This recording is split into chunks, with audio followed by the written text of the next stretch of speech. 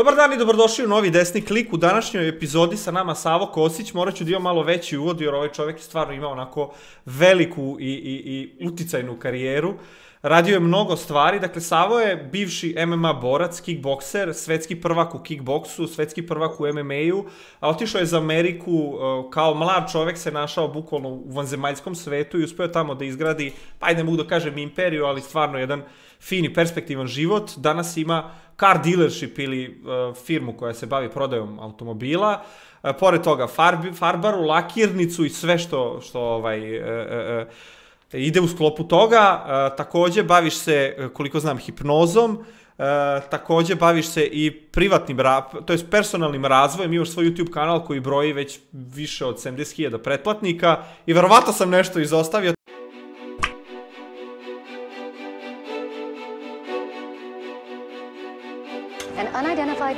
Shot his wife and 16-year-old son to death. We're going to build a wall. Analysts say those missiles have a range that can hit South Korea's capital and beyond. That's one small step for man. Try!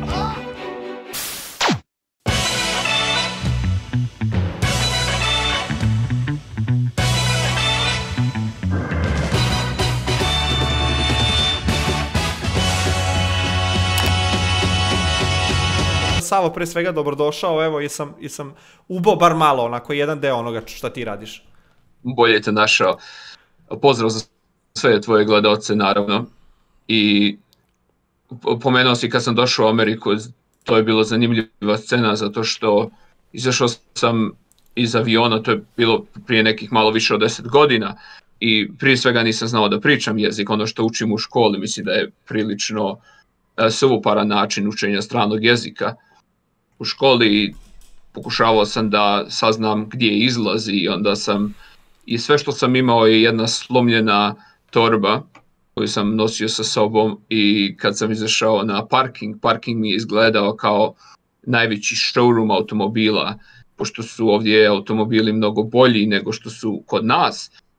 I, i sve mi je bilo drugačije, ulice su drugačije, veće, i pošto sam imao već tada oko 20, oko 23 godine, završio fakultet, došao i mislio sam da znam nešto, mislio sam da sam mnogo pametan i onda sam shvatio da se sve mora početi od početka. Kad sam došao prvi put ovdje, izašao sam iz aviona, slabo sam pričao jezik, i zašto sam imao je ta jedna torba polomljena i gledao sam automobile koji su izgledali kao showroom najljepših automobila na svijetu, um, tako mi je djelovao običan parking na aerodromu, a kod nas naravno su stvari drugačije, drugačije su ulice, velike ulice, sve izgledalo sve izgledalo novo i ja sam prilično se osjećao osjećao sam se do tog momenta da nešto znam, da sam pametan, da završio sam školu kod nas i mislio sam da ću da dođem i da će da me čeka novac, da će da me čekaju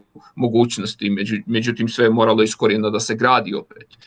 I dugo godina već sam učio, spomenuo si hipnoterapiju, dugo godina sam u psihologiji, nešto što mi zovemo cognitive behavior therapy, neuro-linguistic programming, NLP. Tu sam do, došao do mogućnosti da radim sa čovjekom koji je izmislio Neurolinguistic Programming, Dr. Richard Bandler, što je, on ima preko 70 godina sada i pozvao me na njegov 70. rođendan sam bio i na, na seminarima ima video na internetu gdje radim intervju sa njim, tako da dostigo sam dosta u tom polju, u, u istom vreme sam radio i biznis i kao što kažu, ja mislim da je biznis samo psihologija vlasnika, ne možemo da radimo na biznisu s polja, a da nemamo dobru strukturu unutra. Jedna od stvari koja ja kažem mladim momcima, ako hoćete, i djevojkama, ako hoćete da imate dobar početak dana, zategnite krevet, namjestite svoju sobu. Ako stvari nisu ok oko tebe, onda ne mogu stvari da ti budu ok u glavi i obrnuto. Radim na obostrano i tako da, kao što si rekao, hip, hipnoterapija je jedan od metoda isto koje sam naučio. I ovdje sam dobio doktorat prije nekih e, dvije godine i dosta, vidi, dosta gledam ljude, radim sa seanse sa ljudima, e to mi je kao kao jedan biznis sa strane, a moj glavni biznis je naravno izvor je auto dealership, gdje imamo danas preko stotinu auta, rekao si farbarska radionica, mehaničarska šopa, to je nešto gdje donosi, što donosi novac. A to što ja volim da pomažem ljudima, to vam više dolazi kao, ne bih rekao hobi, zato što se ipak pravi novac. Ja ovdje naplaćujem a, oko 350 dolara za sat vremena seanse sa nekim, tako da, je, mm -hmm. tako da bih rekao da je isto postoji dobit, korist, ali naravno mnogo veći novac se pravi u autobiznisu. Ja i ti smo pričali ono što ti radiš u Srbiji sada gdje možda zarađuješ 5 do 10% od onoga što ljudi zarađuju ovdje koji su tvoga kvaliteta. U Americi razlika je velika i zato je mnogo ljudi hoće da dođu u Ameriku. Ja sam napravio bio jednom davno neki, jedan klip kako doći u Ameriku i ostvariti cilj i napraviti neki novac dosta, dosta starih klipova su obrisani, zato što meni ideja bila napravim nove i bolje, ali kao što smo rekli danas, za gledalci imat ćete priliku da vidite u, u ovome intervju danas, ja i Voja smo dogovarali i pričali da ćemo da dosta donesemo starih informacija koje više nisu dostupne danas u ovome klipu. Tako je, evo ja bih volio da počnem baš način na koji sam te uopšte upoznao i kako sam došao do tebe. Dakle, ja sam pre neke dve godine kupovao stan ovaj u kome se sada nalazim.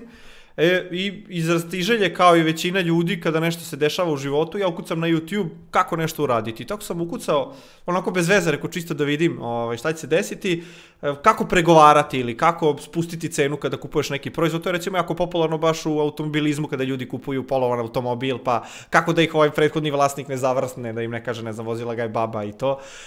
I tako sam ja pogledao jedno 5, 6, 7 klipova koji su na tu temu, što stranih, što domaćih, i iskreno tvoj mi je onako najviše ostao ovaj, u, u, urezan u pamćenje, ja sam uzeo onako neki papirić i podelio sam ga tako na neke stavke, zapisao sam te stavke i onako par puta sam se, pa ni se preslišao, ali ono čisto sam se podsjetio šta se tu, što, kako si ti to pričao, taj razgovor da se vodi, i eto, uspeo sam da smanjim cenu tog stana koji sam kupio, iskreno za nekih 30-40%, što je meni iskreno ovaj, dosta uh, sačuvalo taj budžet i uspeo sam sa tim novcem recimo da ga renoviram u fullu i da ga sredim onako baš kako ja želim. I ono pomislio sam rekao ovaj čovek zna šta priča i definitivno nije neko ko je samo snimio video e sada pokupi ne znam preglede i subscribere nego neko ko se ovim bavi i ko je baš ušao u tu psihologiju ljudi i tačno zna kad, kako i na koji način treba ljudima da se kaže da se izazove neka reakcija, neka empatija i da onako razgovarate kao ljudi, a ne kao biće koja samo imaju neki interes i žele nešto brzo da, da završe. I to je bio, evo i razlog zbog koga sam te danas pozvao, jest da te nisam pozvao odmah, nego eto, trebalo je to možda meni malo da, da sazri u glavi, ali recimo taj video je meni mnogo pomogao i koliko vidim 70.000 ljudi drugih je pronašlo tvoj kanal, pretplatilo se na njega i, i njima si pomogao na neki način. Mm -hmm. Naravno, kad kažemo, drago mi je prvo prije svega da si uspio da to uradiš, sigurno da ne bi mogao da nisi ti spreman i na tom nivou da uspiješ da primiš znanje. Nije svako u isti razred. Ljudi nekad moraju da prođu kroz razrede i ne može svako da razumije određen, određenu tematiku. Kada dođe do prodaje, jedna od najbitnijih stvari je emocije. Ljudi sve rade što rade zbog onoga kako se osjećaju ili kako žele ili žele da promijene njihov osjećaj ili žele da se osjećaju isto. I ako budemo svjesni da ne, ne pokušavamo da promijenimo recimo plodove voća, nego da promijenimo korijenje. E, e šta je sada korijenje? Korijenje je ono dublje u nama što je recimo što su naše, naši osjećaj. E sada ako ti pričaš sa osobom koju, koju znaš ili sa osobom koja je koja ima sličnosti u kao ti, recimo ima sličan govor tijela, je sličan, sličan glas, možda sličan akcenat i odrastao recimo u istom gradu, recimo u Novom Sadu kao ti.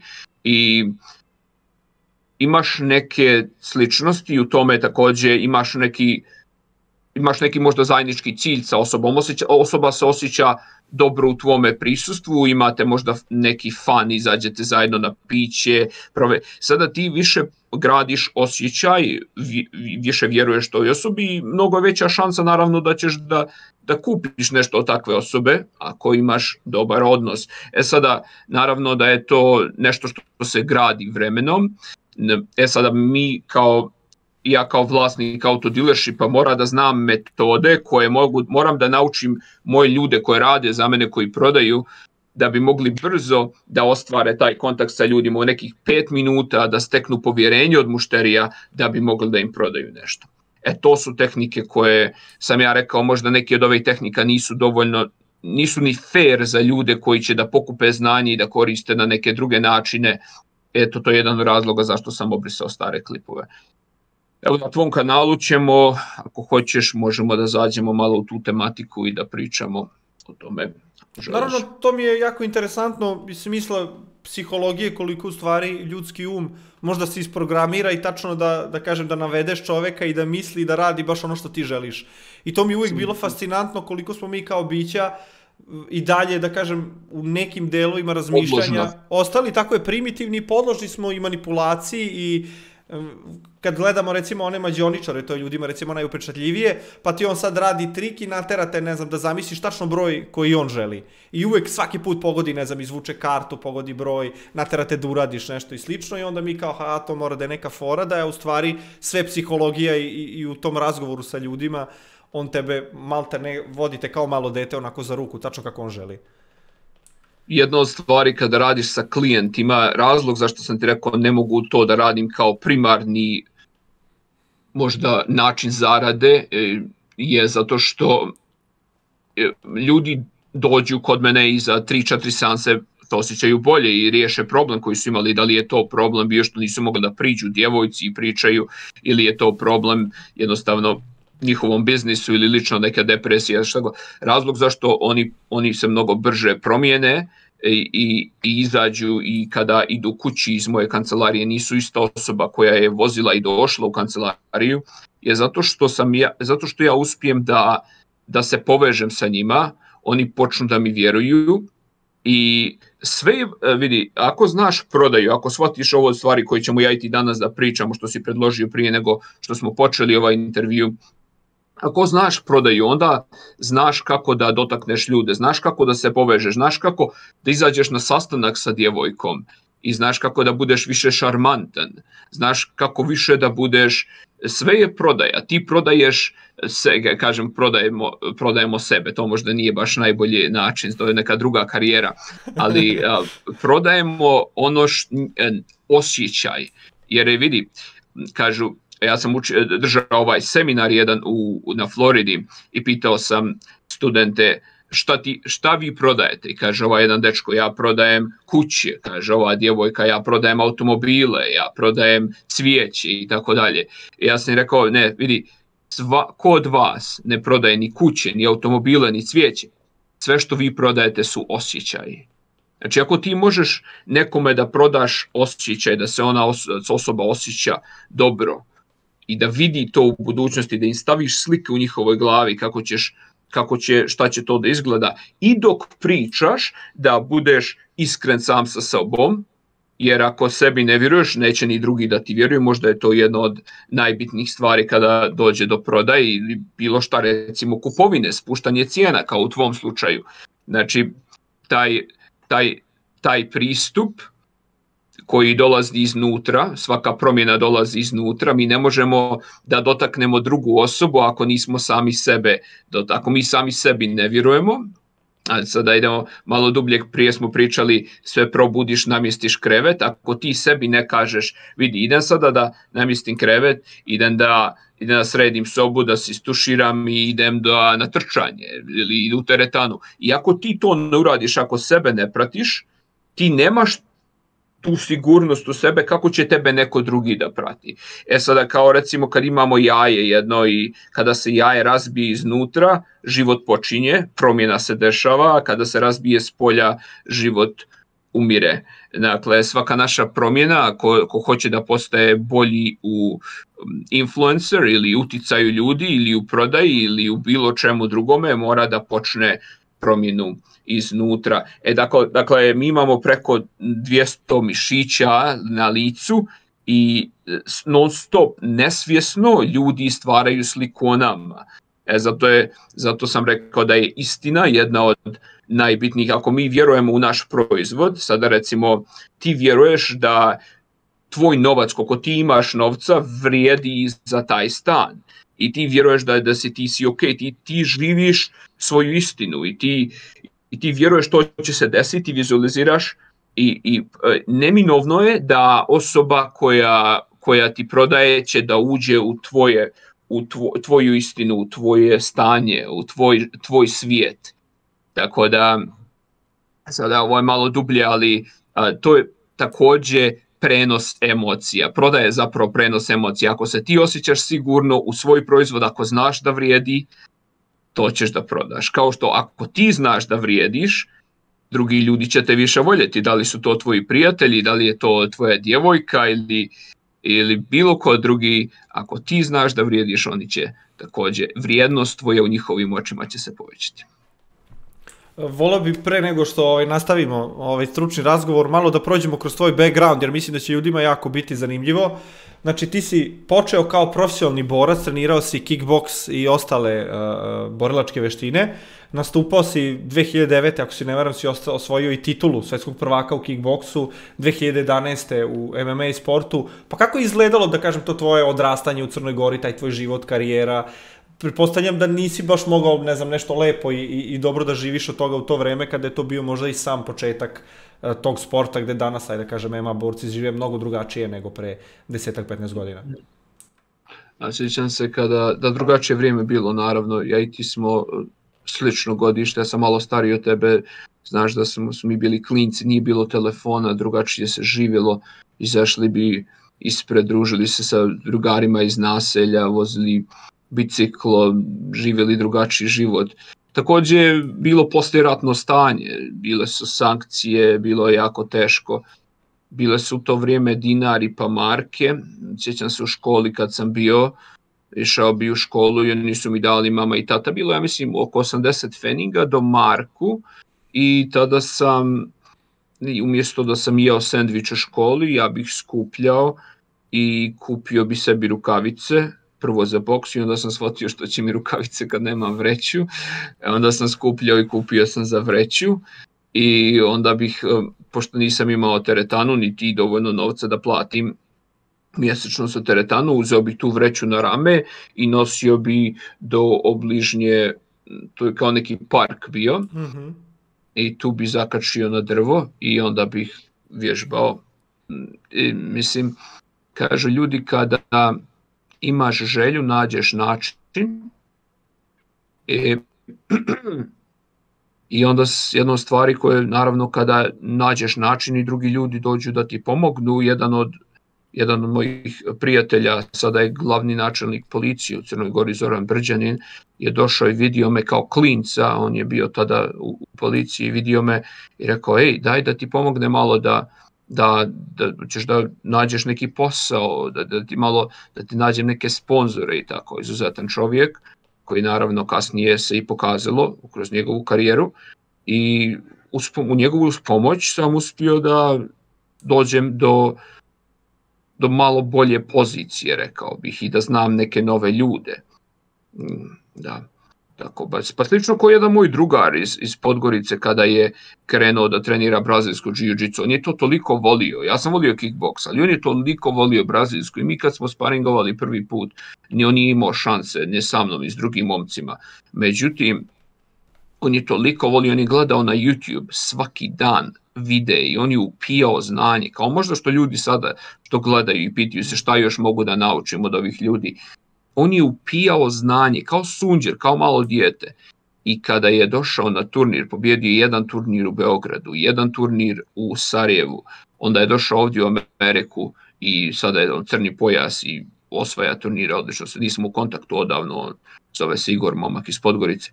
Ali, ali izuzetno je talentovan i on je znači preko videa za nekih možda godinu dvije non stop učio i naučio da znači za kratko vrijeme, e sad to je to želja kad ljudi nešto zaista hoće.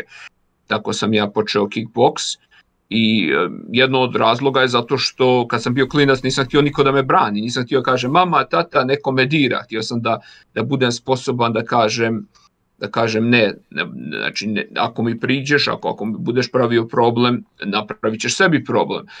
I tako da sam bio naravno uvijek protiv. Sjećam se jednom kad sam išao u školu, bio sam išao sam sa dva, dva drugara i došli su starija grupa djece i oni su nas napali. I i bez veze uzim, uzeli nam stvari, š, torbu, bacali divljaci, jel? E sada ova dva moja drugara su pobjegli, ja sam tu ostao i oni su počeli da me čupaju i vuku i jedan moj drugar iz nasilja, jedan drugar Jono, on je došao i počeo, pobacao je te on je još, još stariji od, od, od ove grupe koji su nas napali, došao je, pobacao je njih i rekao je i za prijetnjem rekao nemojte nikad više to da radite, to, to, to. mi ovdje zovemo u Americi bullying. Mm -hmm. um. I sada i, i ja sam rekao ja hoću da budem kao ta osoba, ja hoću da budem kao taj momak.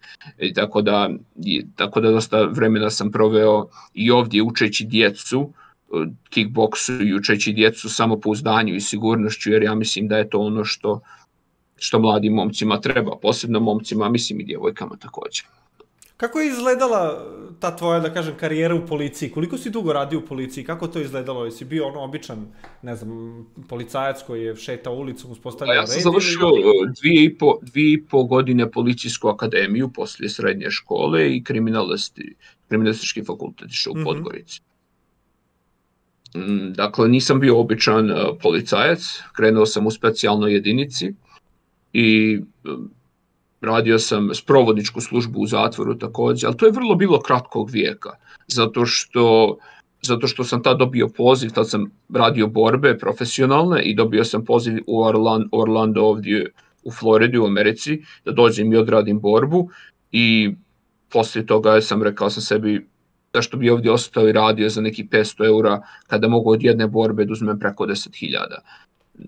Tako da, tako da tada sam krenuo ali bilo je zanimljivo, izuzetno na policijskoj akademiji, tad sam dosta naučio i dosta, rekao bih, ne samo oko borilačkih sportova, ali i oružja, takođe povećalo nivo samopouzdanja i kao što smo rekli osjećanja se prenose prije, tako da sam bio mogućnosti da bolje prenosim mlađim generacijama kroz sport ili priču ili šta god drugo. Kako si se osjećao tada u tom periodu dok si da kaže, kaže da si radio u zatvoru, verovatno nisi baš bio u kontaktu non stop sa ljudima od kojih si, ne znam, mogao nešto da nauči, koji su mogli da ti budu inspiracija i onako, da te, da te guru neku bolje svetlo, već uglavnom su to bili ljudi ali koji su imali problema sa zakonom, je li tako? Odlično pitanje, Vojo. Ne sam ime to niko pitao do sada. Vidi, kažu da si ti prosjek pet ljudi sa kojima vrijeme provodiš. Mm -hmm. I u zatvoru je jedna stvari koje nemaš je recimo telefon. Dosta, dosta zatvorenika ima telefon zato što ilegalno ubaci, naravno to je ono što oni rade, a, a ljudi koji rade tamo nemaju zato što moraju svaki dan da dođu, izađu, uđu. I onda ako ti je nešto hitno moraš da ideš da pitaš zatvorenika za telefon. to je bilo vrijeme gdje Pa možda jedna od stvari što sam naučio je mir, e, tišina, preko ako radiš noćnu smjenu u zatvoru, ne dešava se ništa i onda si samo ti tu sa svojim mislima, možda nekad se neki eksces desi, neko ode kod zubara ili kod neki zatvorenik, moraš da ga sprovedeš i izmisle razne načine, razloge da izađu iz ćelije.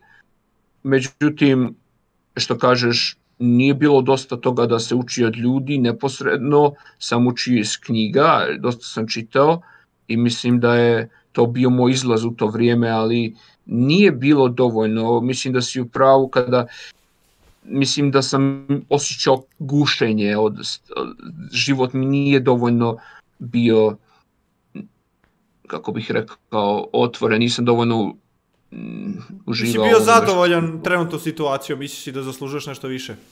Ja.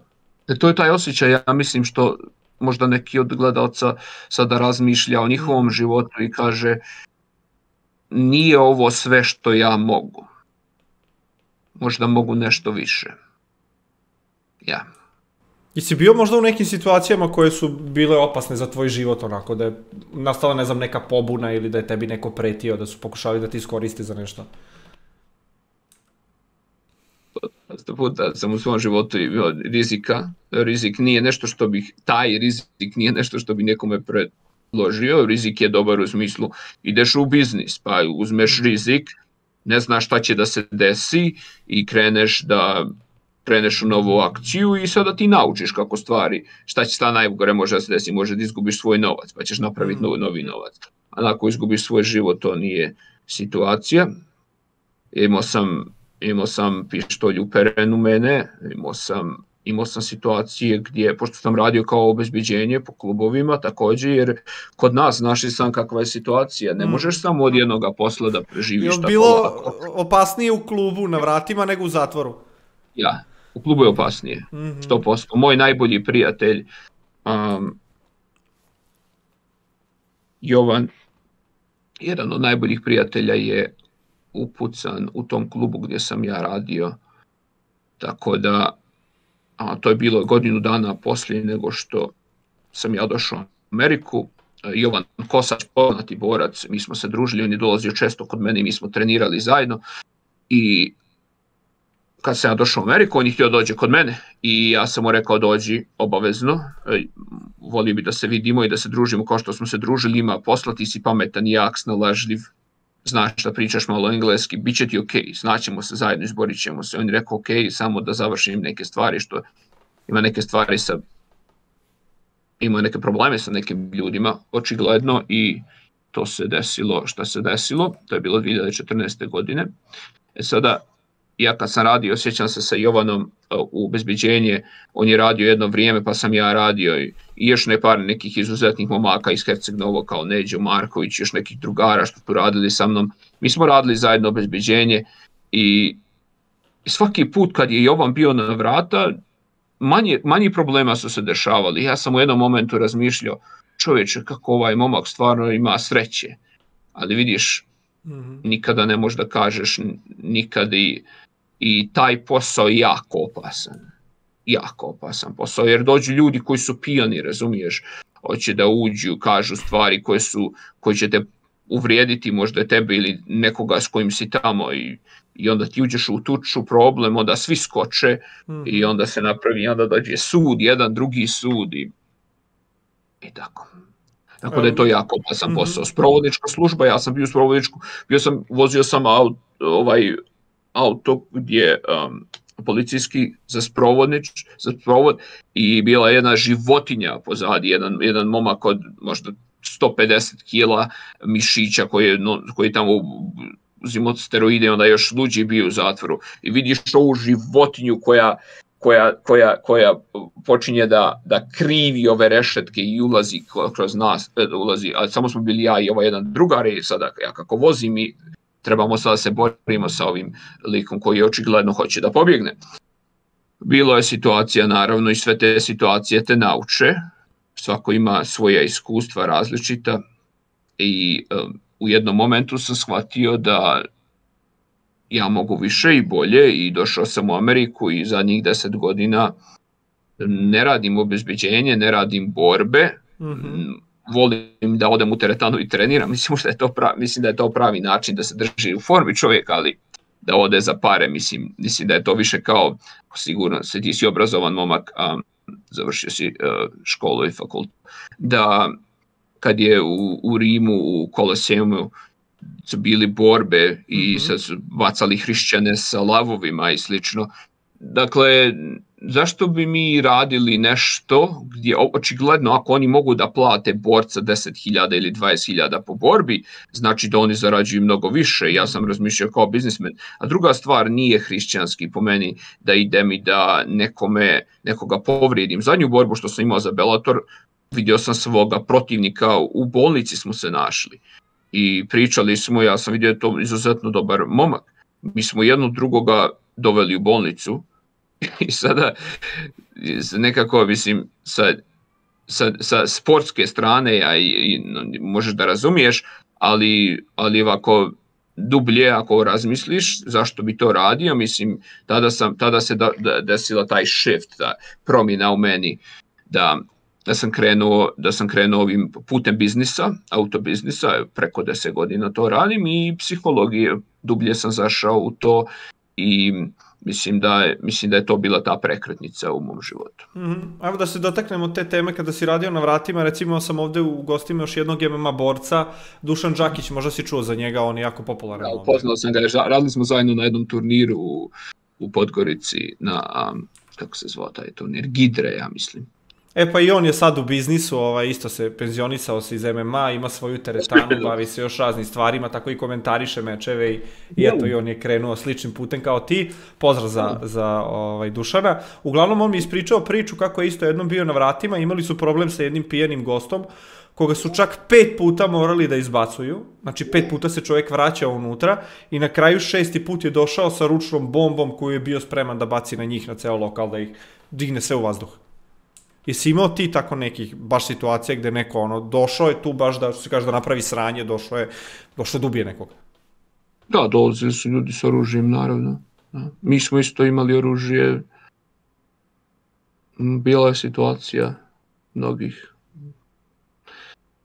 Zanimljivo je kako, kad me pitaš ova pitanja, ja se vratim mm -hmm. na to vrijeme, a to je vrijeme koje, sam, zamisli sada da ti odeš Thailand i živiš tamo preko 10 godina, mm -hmm. stvari, stvari nisu i onda te neko pita i ti si potpuno ušao u tu priču, da li možda radiš Muay Thai ili nešto i onda te neko vrati na to vrijeme i ti se vratiš i kao što smo pričali malo prije, sjećanja, sjećanja donosu osjećaje sa sobom i onda sam taj osjećaj koji ti napraviš u meni kad me pitaš pitanje. Mm -hmm. Jer pitanja su jako moćna, to za ljude koji hoće da nauče prodaju. Ako pitaš pravo pitanje, dovešćeš osobu u pravo odgovarajuće stanje koje tebi odgovara da prodaje. Znači, ti pitaš mene pitanje i ja se vratim u to vrijeme, čovječe, to je vrijeme jako nesigurno bilo, ne samo jednu noć, svako veče je bilo, ja sam radio u, na plažni bar i onda poslije toga noćni klub, zato što sam da bi dobio dvije dnevnice koje su bile smiješne, možeš ovdje to da zaradiš za mm -hmm. pola sata posla, ali, ali je bilo ljudi koji je do, došao je čovjek koji je uperio pištolju nas direktno. I, i njemu je problem bio što mu nismo pustili alkohol da unese unutra. I šta ti radiš u toj situaciji, kako zadaš? Um, bilo je različitih situacija, da. Ali mislim da je mnogo bolje da se ja i ti fokusiramo na ovo što ja mogu ljudima da da napravim život bolji i u -hmm. smislu što sam ja prošao. Ako sam ja prošao haos ovdje, ako sam izgubio milione dolara na, na, na, na glupi živaca i, i, i nervoze da dođem do nečega, mislim da bi taj put možda bio mnogo veća beneficija, a siguran sam da ima ljudi dolje iz Crne Gore i Srbije koji rade na vrata i sada koji bi željeli možda te priče da podijele. Mislim da je... Mhm. Pa evo, ja sam to i pokrenuo, mislim ne što želim da ti čačkam nešto sad po prošlosti, da kažem da vraćam te emocije, mislim verujem, vidim po tebi kada pričaš kao da je to neki davni prošli život koji si ostavio iza sebe, kao da sam te ne znam poslao na neku drugu planetu, znači ne vidim da se, da se rado toga sećaš, ali baš zbog toga sam i pokrenuo to, jer mislim da mnogi ljudi danas ovde na Balkanu se nalaze u takvim situacijama gde bukvalno rade neki posao za neku smešnu dnevnicu, riskiraju svoj život svakoga dana ja. ili kao ti što si radi u zatvoru, sede na nekom mestu gde ne prosperiraju, znači bukvalno su tu, zavezani su kao da ih je neko vezao lancem za neku stenu ogromnu i kada pokušaju da se pomore, o, ovaj lanac ih vuče nazad i nekako ne da im da se odmaknu odatle, pa baš zbog toga čisto mislim da će mnogo mene više... Sam gospod, mene je sam gospod Bog pogledao da dobijem vizu prije nego što su sudovi krenuli, jer od tih svih problema što su se dešavali, ja sam imao sudove, teške tjelesne povrede, bla, bla, bla. I to je kad je sve krenulo, ja sam zapalio. Mm -hmm. Tako da, to nisu stvari koje baš rado se ni sjećam ni pričam, ali ali ja, bilo je, što kažeš, ljudi rade poslove koje ne žele da rade da bi opstali u Crnoj Gori i Srbiji, da, naravno, i mislim da možda postoje bolje varijante. Evo recimo ti to što radiš, znaš i sam pričali smo da bi možda 20 puta više zaradio ovdje, E sada, ima ljudi koji odavde unajmljuju ljude da im radi marketing Mhm. iz Srbije i Crne Gore i slično i, i, i iz država, drugih država, Kanade, Australije. Možda bi bilo dobro da se ljudi posvete tome i više pametnom radu nego, nego mišićima. Pogotovo što, da kažem, ovde postoji, da kažem, i dalje život koji je jednostavniji i možda jeftiniji i može mnogo bolje da se iskoristi to što se ipak mi nalazimo u zemlji koja nije toliko razvijena kao Amerika i ne znam, nema možda te mogućnosti. To što si sad rekao, to je odlično zapažanje i to, i to je ta beneficija koju imaš. Mi to zovemo ovdje u Americi overhead. Kada počneš biznis, najbitnija stvar ti je, najbitnija stvar, ne koliko ćeš da zaradiš, nego koliko ćeš da uštediš. Koliko imaš vremena da iskoristiš. I vrijeme je nepocijenjivo. Ja ne, ne može niko da ti stavi cijenu na tvoje vrijeme uloženo. Dakle, vrijeme kako ćeš ga iskoristiti, to je tvoje, imaš određeno. Svi imamo isto vremena, svi imamo 24 sata, da nema niko više, nema niko manje. Znači ti isto kao onaj bilioner, milioner, jel? Dakle, to vrijeme što imaš je tvoja prednost u Srbiji i Crnoj Gori. Jer ovdje vrijeme u Americi ili ne znam, možda u Njemačkoj sam bio neko vrijeme, nisam odavno bio, ali sam siguran da je slično vrijeme je dragocjeno zato što nemaju ljudi mnogo vremena. Ljudi rade u tim nekom robovskom sistemu, jeste dobar je novac, ali su stalno zauzeti na poslu, dođu kući sa djecu, trebaju da plate nekoga koji im čuva djecu, eh, spavaju kratko i, i, i stalno su u tom krugu eh, do, dok ručaju, dok jedu, ostane možda tri sata za sebe, jedva. I ta tri sata su morni i gledaju TV. E, to je ono što i kod nas ljudi imaju više vremena i onda troše vrijeme pijući kafe ili kako god, naravno i to treba čovjek da radi razumno, ali, ali kad bi razmislili kako da uložimo to vrijeme. E sada, ja sam pričao s jednim momkom, kaže on meni, ja stalno razmišljam o mojoj bivšoj djevojci i e, dva sata svaki dan se brinem i razmišljam zašto se ovo desilo, nisam trebao ovo raditi, trebao sam ovo raditi. Ja ga pitam, ok, to je dva sata, znači za godinu dana ti razmišljaš više od 600 sati, od njoj, šta bi mogao da uradiš? Mhm. To znači za 10 godina ti razmišljaš 6000 sati. Šta bi mogao da uradiš sa 6000 sati? I on je tada je shvatio da je vrijeme toliko dragocjeno i rekao je izvineš jebeš ti ovo i Mhm. ona nije bitna, bitno je, bitno je gdje, ću ja da budem i tako da je vrijeme je izuzetno bitno, neko vrijeme, neko troši vrijeme razmišljajući se i brinući se, a bilo bi dobro kad bi svako od nas, ljudi koji gledaju video, zastao sada i razmislio gdje bi mogao da uložim 20% svo, svojih mogućnosti, svog vremena da zaradim 80% 80% dobitka, koji god je taj dobitak, možda je u novcu, možda je u bilo čemu što god želite da ostvarite. kad se dotekao vremena i svega toga, jako mi je pala na pamet ova paralela, znači ti si ostavio sve što se kaže, spakavao si kofertu, po, poderanu torbu, izašao u Americi i sad ne znam, ljudi odjedno pogledaju, evo, ovaj razgovor naš i vide tebe uspešan biznismen, ima svoju firmu, 100 automobila prodaješ, baviš se hipnozom, naplaćuješ na 350 dolara po satu, to ljudi ovde rade ceo mesec za to, čak ne mogu ni da zarade toliko kad poplaćaju, ne znam, stan i ostalo. A, I baš mi je palo na pamet to, jer mislim da se danas vreme jako uzima zdravo za gotovo, pogotovo da su na to uticale ove društvene mreže, Instagram i Facebook i čak i YouTube. Neko recimo ko upali moj kanal sada pogleda ovo vidi ovog ima milion, ne znam, pola miliona subscribera, ljudi mu šalju besplatne stvari, plaćaju ga, ne znam, da komentariše mečeve, ljudi mu doniraju, ne znam, kad igra igrice i slično. Međutim, baš sam pre neki dan, ovaj kum je moj pravio jedan video gde je pokazao svoju celokupnu zaradu od kad se bavi YouTube-om do danas, što je nekih 11 godina. E, I kod njega i kod mene postoji period od 3 godine na početku kada mi nismo zaradili ni jednog jedinog dinara.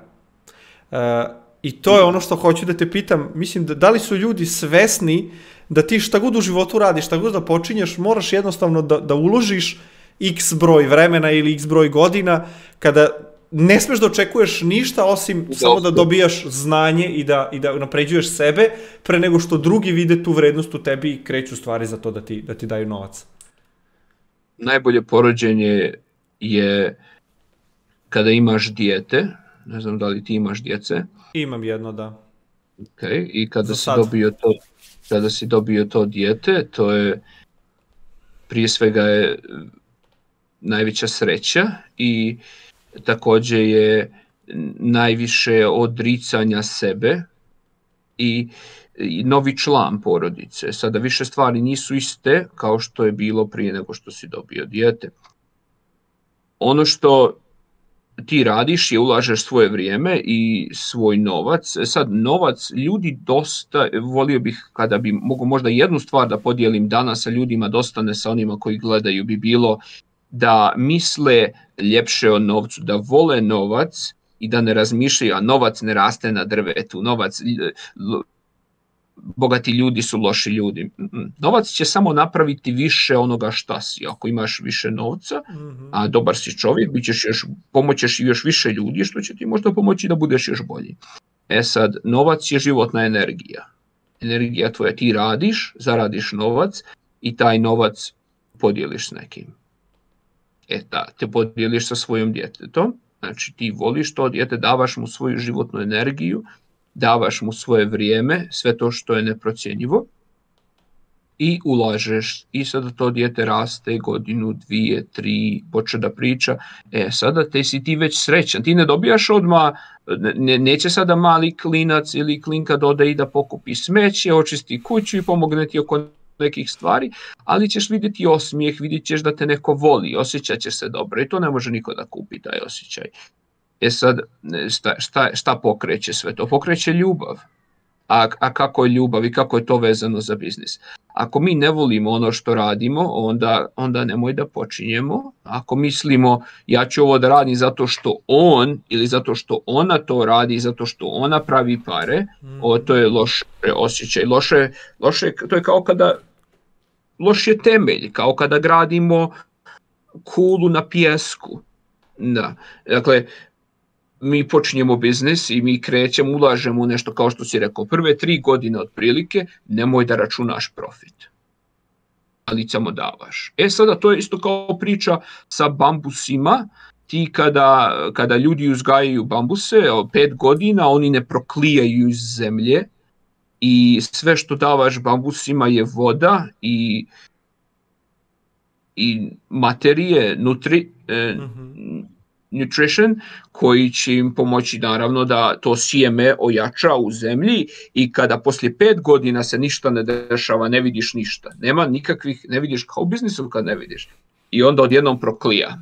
I kada proklija bambus ide, ide nekih 10 metara u roku od 2-3 sedmice. E to se isto dešava sa biznisom. Dakle, velika je razlika kada čovjek radi za sebe, on odjednom se mogu desiti eksplozija, ogroman novac ti stigne, a poslije dosta ulaganja, ali kad radi za drugoga, stalno ćeš dobijati, ali dobijat ćeš samo šargarepu i, um, kako se kaže kod nas, ovdje se kaže stick and carrot. Aha, znači, pa ovdje š, šargarepa na štapu. Da. Uh, vidi se da si čovjek od biznisa i da si uložio i u sebi i u svoju edukaciju, ali me zanima kao mlad čovjek, šta te je nateralo da se baviš, da kažem, kickboksom, borilačkim veštinama, MMA-om, jer, mislim, ako sad, kao što si ti poredio sa gladijatorima u Rimu, kako su ih bacali da se bore, pa tako i da, MMA u stvari nije ništa drugo osim dva čoveka koje ubace u ring i bukvalno jedan drugom žele da otkine, otkinu glavu. Da, dva ili više. Danas imamo u Poljskoj borbe dva, tri čovjeka. Video sam, da. Čovječe, to nije lako gledat. Pa ostrana ova jedna budala umjesto, umjesto da preda njegov ego kaže ne, sad ću se ja boriti protiv tri i ovi mu slupaju ono, glavu soccer kickovima. Strašno. Um, šta je, pa, pa ka, rekao sam ti tu priču, to je kada se u školi maltretiranje, dođe neko uzmeš, uzmeš ti, ja sam volio košarku, jako igrao sam mm -hmm. košarku, i onda dođe neko uzme i šutne mi loptu, ode lopta, pff, i onda moram ja da trčim po loptu, ili došao jedan dečko i uzao mi je, uzao mi naočare, skinuo je, sam imao naočare tada i on mi skinuo naočare i uzao, a meni odgovaraju ove naočare. Sad ćeš, šta ćeš ti da radiš? On je, sad te stoji nešto kila, ti si mali klinac, I sada ti razmišljaš čovječ u to vrijeme zašto se ovo meni dešava. Misliš da je nešto loše? Sad sigurno ima ljudi koji gledaju ovaj klip i razmišljaju meni se nešto dešava loše u životu i niko me ne može da me razumije zato što je meni baš loše. Tako sam ja mislio. Međutim, to je najveći blagoslov bio što mi se desilo. da su me ljudi napad, napali, uradili nešto loše na igralištu, pošto sam ja stalno bio aktivan, stalno sam bio u sportu. I ta nepravda je nešto najbolje što mi se desilo, zato što sam odlučio da ojačam, jer život nikad neće postati lakši, samo ćemo mi postati bolji. Ako Mm. idemo u tom pravcu, naravno. I to me poslije dovelo do toga da treniram i da uspijem da dođem do tačke gdje u ranom djetinstvu, još kao mlad, nisam, više ljudi nisu imali, uh, dao sam pra, par dobrih primjera i poslije toga ljudi nisu više imali, um, nisu željeli da me, da, da dolaze u konflikt sa mnom, zato što, zato što su imali jasan primjer i eto, to bi, to mislim da je bio razlog kako sam počeo. Mhm. Kako si došao do, do, do titule svetskog prvaka u, u kickboksu? dosta, dosta, dosta poraza prije toga, rekao bi. Ne, mislim da sam, ja sam, sjećam se, prvo ušao sam kao mnogo naivan u prvi meč i izgubio i, i, i išao na drugi, treći, četvrti, prvih nekoliko mečeva sam izgubio. I, i nisam, nisam stajao, nisam stajao i mislim da je upravo to bio razlog zašto, zašto sam došao do do te da, bio sam lokalni turniri, te turnir u Tešnju, turnir u Beogradu, turnir u Podgorici, e, tako sam krenuo kickboks, krenuo sa Kyokushikai karate Mhm. i na, na taj način sam a, počeo, je dobio poziv na prvo, prvi svjetski turnir, tu nisam uspio drugi, e, treći bio za, u Rumuniji 2009. godine, e, tu sam išao sa mojim drugarom Andrejom Zeloševićem, odličnim kickbokserom i još jednim drugarom iz Podgorice i, i u i uspio sam da, e, bilo je dosta sreće, sjećam se u zadnja, zadnja borba, znači samo finale, ja sam imao neki adrenalin koji sam ubrizgao da bi mogao da se dignem, ja sam toliko bio povređen, meni je sve bilo nagrađeno, čukljevi, uh, uh, vilica mi je bila pomjerena, uh, nos mi je bio slomljen, krvav, nisam mogao da dišem koliko je krvi bilo u, u sinusima i, i mislio sam da ne mogu, zato sam bio umoran od, od prethodne borbe, mislio sam da neću moći da se ustanem, jer sve je organizovano kratko, naravno radi Mhm. novca, jel je, ne, ne mogu oni sada da naplaćuju hotele i sve. I za, zadnju borbu jedva, znači kako sam ja ustao, mišići su me toliko boljeli mislio sam da, mislio sam da neću moći da ustanem, međutim sam ustao i, i, i krenuo, ušao u ring zadnju borbu i, i e, kad sam, kad, tek kad sam dobio udarac, ne, još više adrenalina se pokrenulo meni i, i, i ne, jedva, jedva, ali sam um, savladao protivnika, nisam htio da odustanem, ne znam zašto i dobio sam tu prvu titulu. Posle toga sam bio pozvan na nove turnire. Crna Gora nam je donirala oko 15.000 dolara u to vrijeme, što je eura u to vrijeme što je bilo prilično dobro za to vrijeme i onda opet kad sam osvojio drugu titulu, opet smo dobili nagradu, tako da je to, to mi je malo olakšalo život, mm -hmm. spremanje, treniranje, sparing partnere i tako. Da, Kako je izgledao format tog takmičenja, mislim, u borilačkim sportovima je jako teško pričati o tim svetskim prvenstvima, uglavnom su borci podeljeni po organizacijama. Pa kako si uopšte dobio poziv, kako si se dokazao na toj svetskoj sceni? Iz kojih zemalja su recimo bili tu borci, je bilo neko, ne znam, veće ime? Ti stvarno postavljaš dobra pitanja. E, zanimljivo zato što nisu generalizovana pitanja ni, za, ni zapisana. Jednostavno stvari koje ti padnu na pamet što je vjerojatno jako zanimljivo tvojoj publici i to je možda razlog zašto imaš pola miliona pretplatnika. Može biti. Mm. Da, evo prvi put mi danas pričamo i zaista mi je, zaista mi je interesantno. Um, bila su poznate imena svugdje iz Evrope, iz Azije, iz Amerike, imao odličan tim iz Amerike, bio tu američki divači. Um, mm, kako su organizovani, pa svaka zemlja ima e, svoj tim i sada je to, to je taj e, to je nešto što mi rekao bih možda nedostaje mm -hmm. iz tog perioda svoga života. Jer ti ideš sa svojim timom, oni ti naprave smjestete u hotel koji ti tada hotel izgleda hotel 4-5 zvijezdica, ti se osjećaš imaš besplatno doručak, ručak. U to vrijeme to mi je bilo ogromno, što sam ja došao iz, iz naselja montažnih kuća gdje, gdje je život prilično, prilično, prilično skroman. U nedostatku bolje riječi, rekao bih skroman. Ali e, dođeš tamo i onda se, ti si sada, ti si sada u toj jednoj priči, razumiješ, sa tvojim drugarima gdje ti treniraš, spremaš se, pomažeš njima da se zagriju za mečeve, ideš, ideš njima u korner, razumiješ, ugao.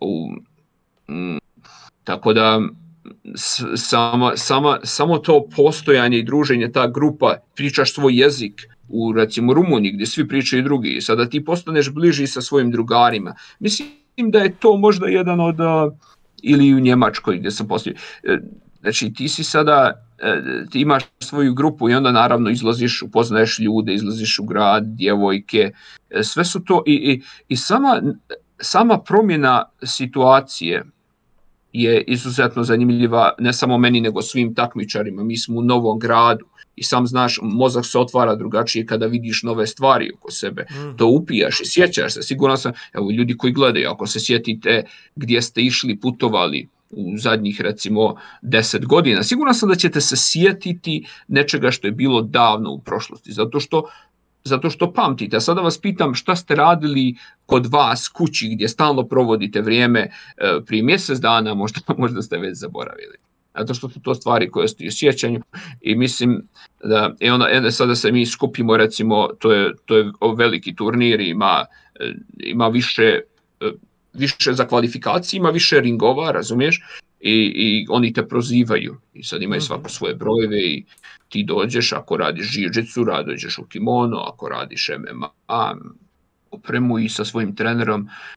Prilično je napeta situacija kada prozovu tvoje ime, posebno polufinale i finale, zato što si na glavnom stadijumu mm, i svi gledaju tebe. sve oči su uprete u tebe, a ti si već ono umoren, umoran zato što si dosta mačeva radio Tako da rekao bih, um, da sjećam se tada u Njemačkoj uh, na drugom MMA turniru uh, svjetskom došlo je dosta naših ljudi iz Srbije, Crne Gore, Bosne, Hrvatske da nas podrži, zato što uh, i tu nema puno razlike, to mi se sviđa između Hrvata, Srba, Makedonaca, nekako u, u zemljama ovdje i vani, svi smo jedno, svi smo isti, koji pričamo naš jezik, koji se razumijemo.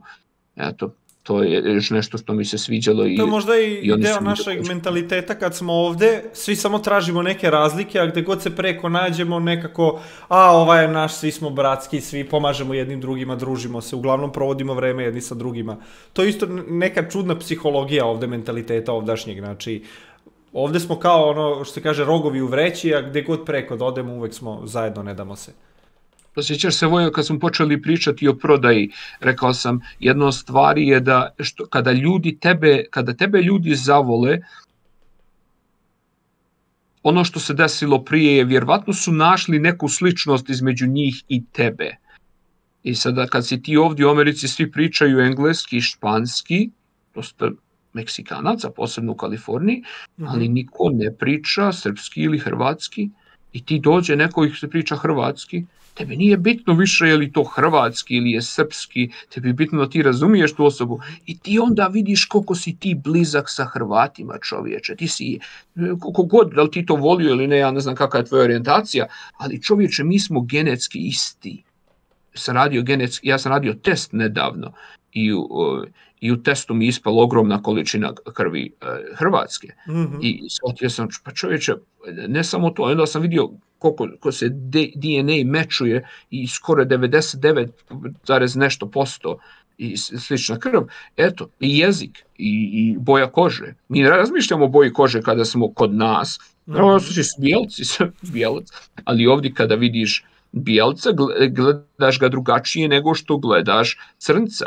I to zato što Ne zato što će ti da razlikuješ ljude i možda mrziš e, crnce, voliš bijalce, naravno da ne, nego zato što postoji šansa da te oni mrze. Kao što kad odeš sa našim tablicama u Hrvatsku, postoji šansa da ti neko slomi auto. Tako da moraš da budeš dodatno oprezan. E, to je nažalost, zašto je to tako? Pa ne znam, pričali smo, imamo različite razrede, neki ljudi ostanu u prvom razredu cijeli život. Kada si odlučio da se, da kažem, prešiftaš na, na MMA nakon kickboksa, jer mislim evidentno je da je kickboks tada u tim nekim godinima dostigao i svoj vrhunac i da jednostavno novac nije nikad pratio popularnost tog, tog sporta, a MMA je tada bio, da kažem, u velikom zamahu, pravilo se sve više turnira, mnoga imena su tada postala popularna, ja sedam, i ja kao student sam išao na neke MMA turnire koji su organizovali, stvarno je bilo mnogo zanimljivije za gledanje nego recimo ovi klasični borilački sportovi. Pa šta je tebe navelo da se prešiftaš ovamo? Da li je to bio novac ili možda neka ja, mogućnost? ja, nova? ja, sam, ja sam gledao tada turnire MMA i shvatio sam da je mnogo realnije. Mhm. Radio sam sa dečkom koji je radio brazilsku jiu-jitsu koji je ja sam tada imao možda oko 110 kg, on je imao oko 70 i ja mu ništa nisam mogao uraditi na parteru. Ja sam shvatio čovječ, ovo je... Pa mislim da otvoren um, ja kažem ljudima, um je kao padobran, ne radi ako ga ne otvoriš. I mislim, imao sam otvoren um prema novim stvarima, tada, tada još MMA nije bio toliko popularan, ali mislim da sam imao percepciju, rekao sam šta je više korisno. Ako ja nađem se s nekim na ulicu, da li će boks da me, da li će, ako samo znam da boksujem, kakve šanse imam, osim ako, u poređenju ako znam također da radim brazilsku jiu-jitsu. I brazilsku jiu-jitsu je izuzetna alat. Ovdje u Americi izuzetno zanimljivo ako imaš, eh, oni kažu background ili, ili uh, iskustvo možda kako da pre, u, u, u brazilskoj jiu-jitsu, to ti je kao, uh, tvoje ruke su praktično u, u, u, očima zakona oružje. Ja. I vidio sam koliko je efikasno i, i onda sam i otvoren dovoljno da probam to. Kao što ljudi kada gledaju i, i ne, pričamo ja i ti nešto o biznisu, o prodaji i oni kažu, ja im kažem, ne, ne morate da mi vjerujete, probajte i vidjet ćete. Vidjet ćete kako stvari funkcionišu i da li to radi za vas. I ljudi koji su otvorenog uma, oni će uzeti savjet, a ljudi koji su zatvorenog uma će reći, a ne, znam, ne može to, neće to meni raditi, ja sam propali, ja ne. Ja? Mm -hmm. Tako da mislim da sam, tako sam ja shvatio da, da je a, MMA nešto više opširno i I naravno je, poslije kad sam došao u Ameriku i, i u policiji sam učio o oružju i, i kaže, um, ne znam da li znaš možda ko je Jordan Peterson. Uh, Jordan Peterson, da li sam zove Jordan, onaj govornik, uh, yes. dobro. Psiholog. Da, da, da, znam ga, popularni On jako kaže- bradu, je li tako? A, izuzet, sma, pa pametan čovjek. Mm Mhm. -hmm. ovaj, sam, idem na jedan od njegovih seminara sada za nekih uh, 15 dana prije mog rođendana. On je izuzetno pametan čovjek, kaže ovako. Nice man is not a good man. Good man is a monster who knows how to control it. Znači, ti treba da budeš čudovište koje i znaš da kontrolišeš to čudovište u sebi, onda znaju ljudi da si dobar čovjek. Jer ako si samo fin zato što ne možeš da uradiš nikakvu štetu, to ne znači da si ti dobar. Mm -hmm. Jer ima dosta ljudi koji su fini iz straha. E, tako da znati rukovati oružjem takođe, posebno gdje ljudi mogu da imaju dozvolu da nose ili možda... U Americi, da. Ja imam u Crnoj Gori značku, jeli? E, znači ti, e, ti si e, ili bilo koje drugo vrsta oružja hladnog ili šta god je dozvoljeno, izuzetno je, daje ti posebno muškarcima, a i ženama takođe, pouzdanje, samo pouzdanje. I to je nešto što je mene uvijek inspirisalo. Ok, ja znam da ja neću nekoga da diram, čak i ako nešto kaže. Jer ljudi pričaju svašta, kad bi bacali kamenje na svakoga psa koji prolazi, ne bi stigli svoju destinaciju. Ali, ali znam da taj neće moni, meni ništa moći da uradi. Ako uđe u moj lični prostor, zna šta će mu se desiti. I, i taj osjećaj samopouzdanja i sigurnosti, ja mislim da je nešto što dolazi iz vremena kad smo živjeli u plemenskim zajednicama. Osjećaj, nešto što je duboko u nama, u našem limbic sistemu, u našem mozgu, duboko u našoj podsvijesti. I, i zato bih e, rekao da, naravno, momci koji nisu probali e, mixed martial arts, koji nisu probali brazilsku jiu-jitsu, neka odu. Nije ništa strašno, ne moraš da sparinguješ ni sa kim. Možeš da odeš da posmatraš. I ako čekaš da budeš motivisan da odeš na trening, nikad nećeš biti motivisan. Zato što motivacija će da dođe kada treneš, kada kreneš da treniraš. Kreneš da trčiš, da trčiš jedan kilometar, hoćeš dalje da trčiš. Da, ne možeš da čekaš da budeš motivisan. Kako je izgledao, da kažem, da izgledalo to svetsko prvenstvo u MMA-u koje si osvojio? Mislim, danas mi pratimo UFC, pratimo, ne znam, u Evropi, Bellator, KSV. Da li su ta neka poznata svetska imena bila tu na tom prvenstvu ili možda nije bilo dozvoljeno od strane organizacija? Koga si uopšte pobedio na tom, na tom putu do titule?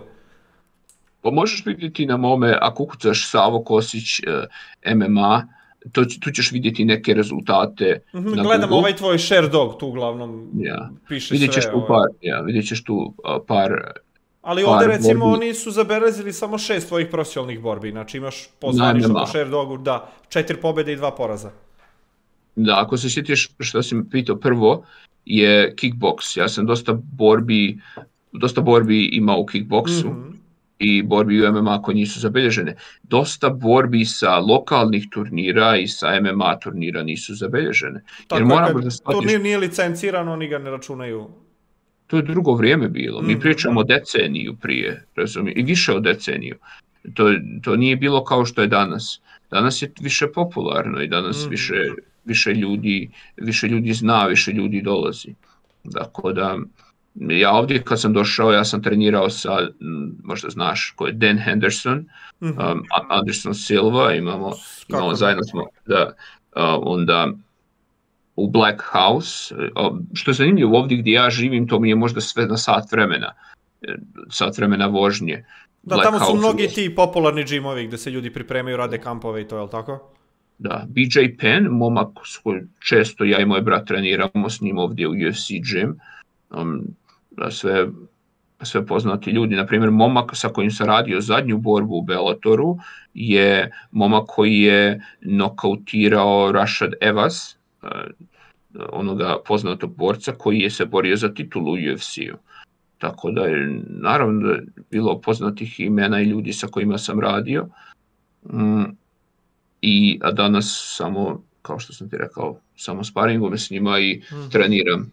I, mnogi, mnogi od ovih momaka koji, s kojima danas pričam, koji su mnogo poznati u, u borbama, zavide ljudima koji su u biznisu i koji, e, pošto oni ne mogu da izađu, njihova sva zarada je idu, idu i bore se. Ja mogu i dalje da se borim, sad imam 33 godine, mogu bih i dalje da idem i da radim borbu i pozvali su me da radim borbu drugu u Bellatoru, ali za, za šta? Novac nije motivacija, sigurno, sada, e šta, zašto bi to bilo? Da nekoga povrijedim ili neko mene da povrijedi?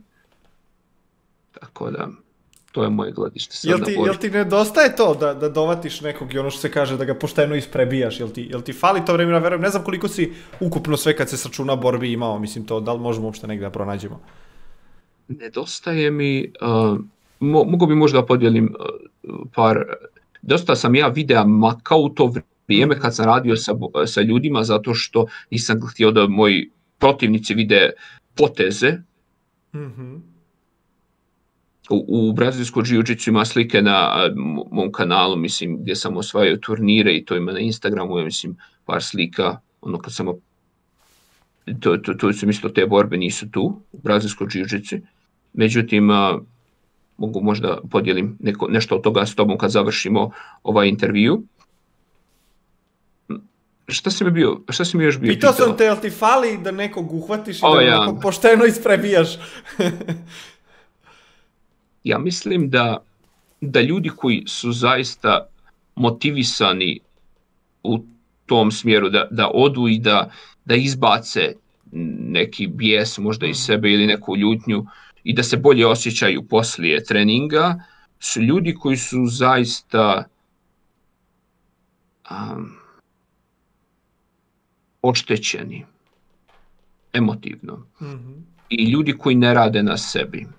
Znaš, ja sam prošao kroz iskreno između mene i tebe jedan preporod m, kada sam počeo dugo, kažem ti prije više od deceniju da radim duboko na sebi i da razmišljam šta je to što mene pokreće, šta je to što mene motiviše, kao što sam ti rekao upoznao sam svog protivnika u bolnici, razumiješ, to su neki momenti gdje čovjek stane i zapita se šta ja ovo radim, da li ja idem da naučim, da li ja šta sada volim je naravno nemam osjećaj dobar da nekoga povrijedim ili da- kada sparingujem, ali volim o, MMA u smislu kretanja, volim da volim da odem pa da, da radim sparing, da se osjećam, da, da razmišljam koliko sam zaštićen, gdje mogu da, da o, brazilsku jiu-jitsu, naravno, naravno da tu postoji jedna zdrava kompeticija, jedan, jedan sada ja i ti ako odemo u teretanu, razumiješ, i, i počnemo da treniramo, vjerojatno ako ti nisi u tome neće biti kompeticije, bit će više, hej, mogu ti ovo pokazati, ovako nekoga možeš da zadaviš i tako dalje.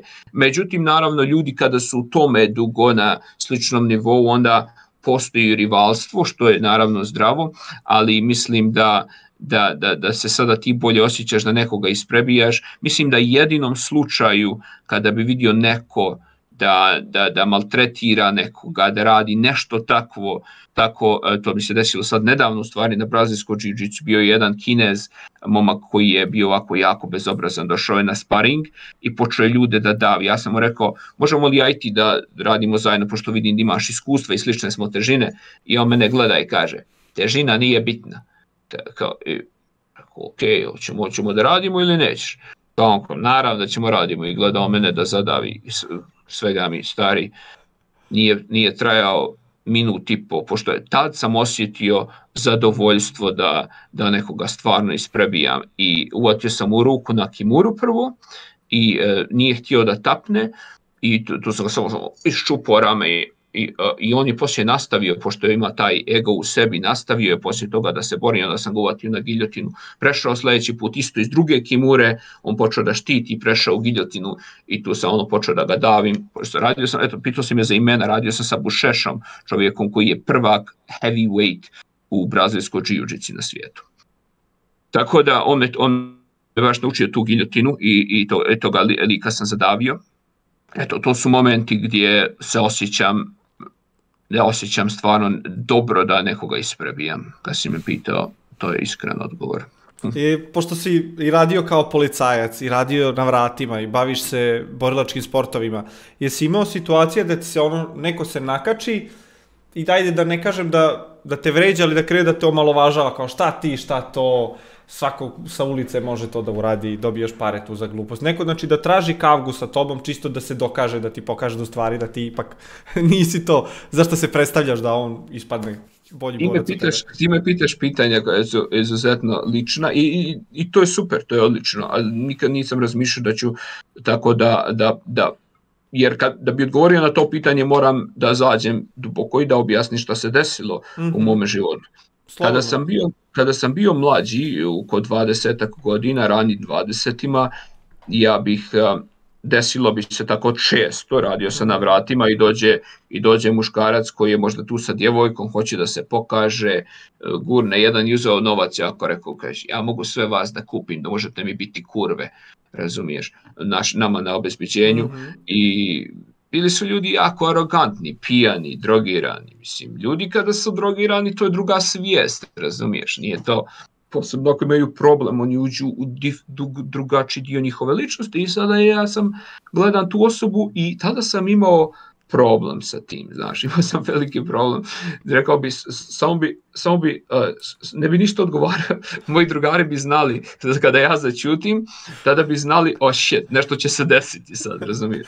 E, I onda bi samo kupio sebi i sjećam se tog momenta, ja samo čekam, čekam, čekam, čekam i onda mi je rekao, onda bilo, kaže ovdje, kaže ovdje, the straw that broke the camel's back, kao, kao slamka koja je slomila leđa kamili, ili kod nas kažu kap u punoj čaši, to je možda još Tako je. bolje. Kap u punoj čaši. Kap koja je prelila čašu. da, da, tačno. I to, i ja sam samo čutim i priđemo i pam, pam, pam. I, i on je samo, znači, kao sekvoja, ono veliko drvo. Bum, i kako je pao, udari u asfalt i onda su ovi počeli da, I duga onda priča. problem. Međutim, to je bilo tada kako sam reagovao na, na uvredu verbalnu. E sad, s vremenom, e, jako se danas stidim toga i ne bih pričao da me nisi pitao. Zato što to ne mislim da je pravi odgovor na verbalnu uvredu. Jer mo, Mhm. šta, šta zapravo sam ja tada govorio? Ja sam tada govorio je e, tvoje, e, tvoje mišljenje o meni je važnije nego moje mišljenje o samom sebi. Dakle, suština, razlog, ti misliš sada neko bi gledao i rekao, a vidi sa ovo kakva je mašina čovječe, prosao i ovoga za sekund. Međutim, e, istina je da ja nisam vjerovao u sebe dovoljno. Ja sam pokušavao da se dokažem, on je mene povrijedio. Nisam ja ljud zato što sam ljud, ja sam ljud zato što sam povrijeđen.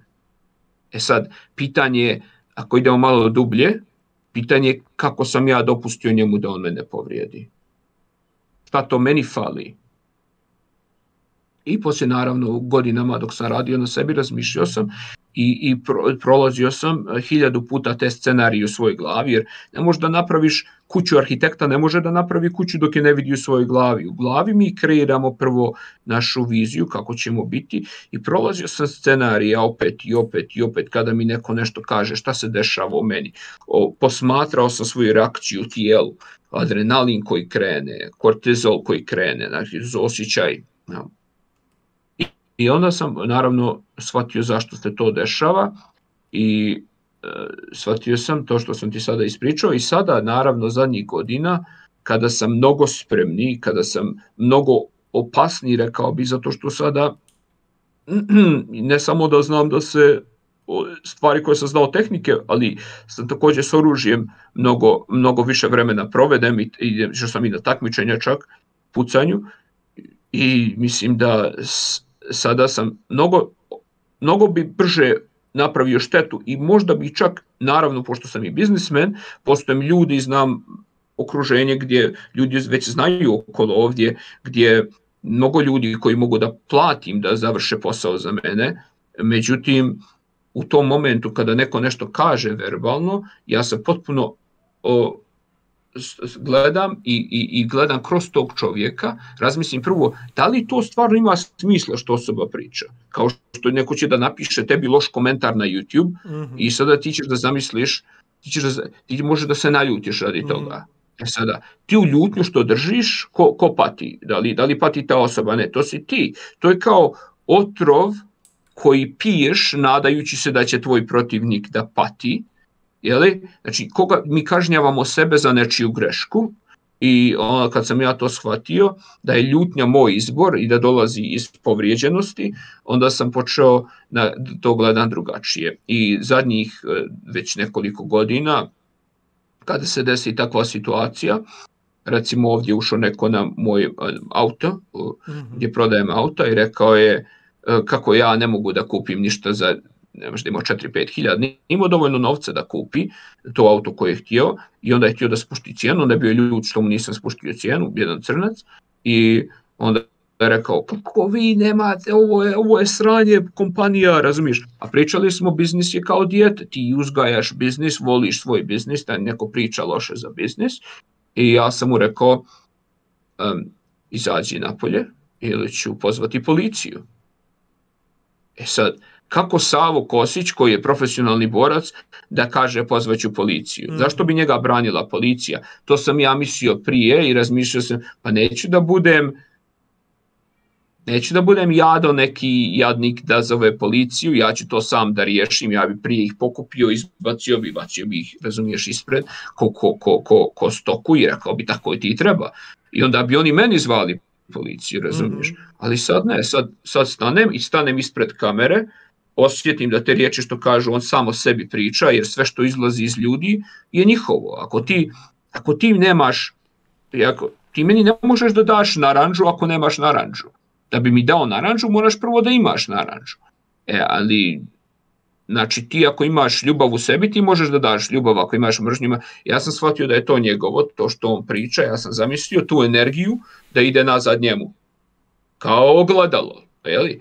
E sada, izuzetno zanimljivo da, te, da taj način razmišljanja može zaista da ti promijeni kako se osjećaš. Tako mu, ok, izađi. I on, I on stvarno izašao, podvio rep i izašao kao, osjetio je, prvo osjetio je moju sigurnost jer je, shvataš, moja, moja, već je, moja ruka je već na pištolju, ja sam, ja sam tu stojim siguran, moj glas je dubok, ja zna, on zna, on osjeća nešto možda u dio njegove, da, da, da, će, da, će, da će kraj da mu dođe u slučaju da krene na mene, i on se podvio i savio svoju kičmu i polako izašao. Eto, to je jedan od načina kako ja sad reagujem. Samo riječi, nikada ne krećem fizički kao što sam u mladosti kad bi me neko isprovocirao. I mislim da kad bi me neko uspio da isprovocira, to bi bila moja odgovornost. Da, znači odgovornost potiče od riječi responsibility, što znači responsible, da si, da si, mog, da si dovoljno imaš mogućnosti da daš odgovor. Mhm. Znači to je tvoja odgovornost. Imaš mogućnosti da odgovoriš. E sad, i to, ti si znači odgovoran za svoje ponašanje i kada, kada preuzmeš odgovornost, onda također preuzmeš i moć u svoje ruke, jel tako? Znači ne možeš, ne možeš ti da da imaš moć ako nisi odgovoran za svoje postupke. I eto, danas, danas sam doveo sebe do te tačke da I, I to je nešto, zna- zvuči jednostavno, posebno ako djevojke gledaju reći će normalno, ako neko nešto kaže, ja, ali za muškarce koji imaju jako veliki nivo testosterona u sebi, e, to može biti veliki problem. Zašto Da, su je- najveći broj učesnika ovaj, tuča u saobraćaju su muškarci, je li tako? Mhm. Na brzinu sve, na moment se desi, izađeš iz kola i ajde brzo da to rešimo, testosteron te puca, ne stigne niko da razmišlja. Pa zato što aj ti da živimo sada u plemenskim zajednicama, nama bi posao bio da štitimo naše pleme, ženama bi posao bio da uzgajaju djecu, mi imamo u našem DNK usađeno osjećaj da trebamo da zaštitimo i taj osjećaj može nekada nas prevari. Mi mislimo da trebamo da zaštitimo sebe od ružnih riječi koje nam neko kaže. A ne moramo, mi smo već zaštićeni. Njihova ljutnja je njihov izbor. Kad smo bili klinci, mama viče na nas i mama kaže šta radiš to, nisi trebao plavo. Mi mislimo da smo mi u problemu. Ali danas, ako je neko ljut na nas, mi nismo u problemu, oni su u problemu. I ako mi to nosimo sa nama poslije rasprave, nisu oni u problemu, nego smo mi u problemu, nije njihova odgovornost, nego je naša. A na, na, na svom kanalu, tamo na YouTube-u, a, ako ukucate Savo Kosić na YouTube, vidit ćete e, dosta ima videa koji pričamo na te teme kako, kako poboljšati svoju psihu, kako biti jači u svakom smislu. Da li te neko doveo da kažem, bezizlaznu situaciju u životu da, da si morao da, da koristiš oružje, da ga upucaš? U, u službi je bilo incidenata, ali mislim da je to možda za neku drugu priliku. Hoću da te pitam ne u smislu da mi, da mi prepričaš situaciju, nego pošto vidim na tebi, recimo, kada si bio u toj situaciji da si udario tog momka, e, ti nisi osjećao, ne znam, ponos ili neko, ono, sad sam zaradio poštovanje, ja sam prebio ovog momka, jači sam, nisi se osjećao Da, kao da, da, uzvišeno, jesam. Da, nego čisto Da, da, me da. zanima... e, ali ne sada. So, Mhm. iz, izvini, izvini, uh, samo da, tada sam osjećao u 20. ranim, ali ne sada.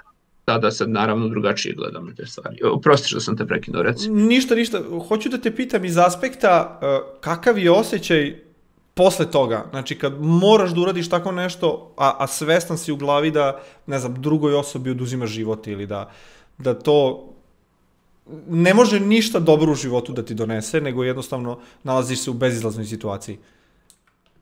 Mislim da je tada osjećaj da moraš sebe da zaštitiš mnogo jači i da ti puno ne razmišljaš. Jer vidi, to je razlika između muškaraca i žena. Žene imaju empatiju, zato što imaju estrogen, zato što imaju prolaktin, zato što imaju ostale hormone koji i neurotransmitore koji proizvode osjećaj, jer taj osjećaj im je potreban za djecu. Tako je Bog sve napravio savršeno.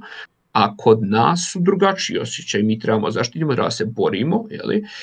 Um, I taj osjećaj potrebe da za zaštitom sebe ili voljenih osoba je, je, je potpuno nadjača osjećaj empatije prema osobi koja proizvodi i, i razumijevanja. Mi, ne, mi muškarci mnogo nam treba na mnogo više vremena da radimo na sebi da bi uspjeli da dođemo u taj osjećaj empatije gdje razumijemo drugu osobu, a naravno u incidentima gdje je adrenalin jako visok.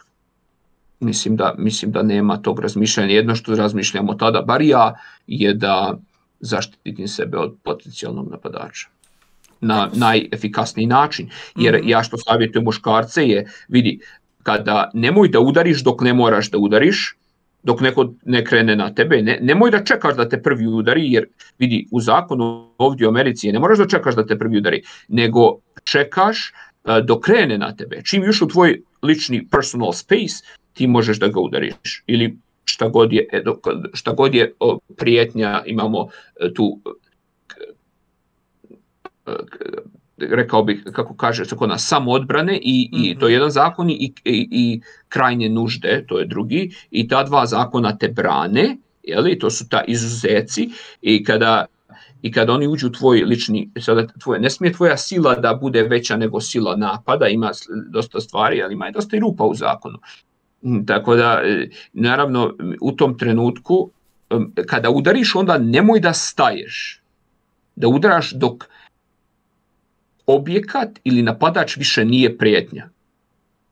Eto, to je, mislim, e, po meni jedno od jako bitnih stvari. Sada ne znači to udarati njegovu glavu o asfalt dok je potpuno nesvisan i skrvari. Mm. Ovdje u Americi radimo nešto što možeš da uradiš je lično hapšenje. Znači svaki, svaki građanin može da ima pravo da uhapsi. Znam jeste znali to, ali um, drugačije nego kod nas. Znači ti možeš nekoga da, šta uradiš, sposobiš ga, vežeš ga i šta, pozoveš policiju da ga vode ili kako? Kako to izgleda tačno?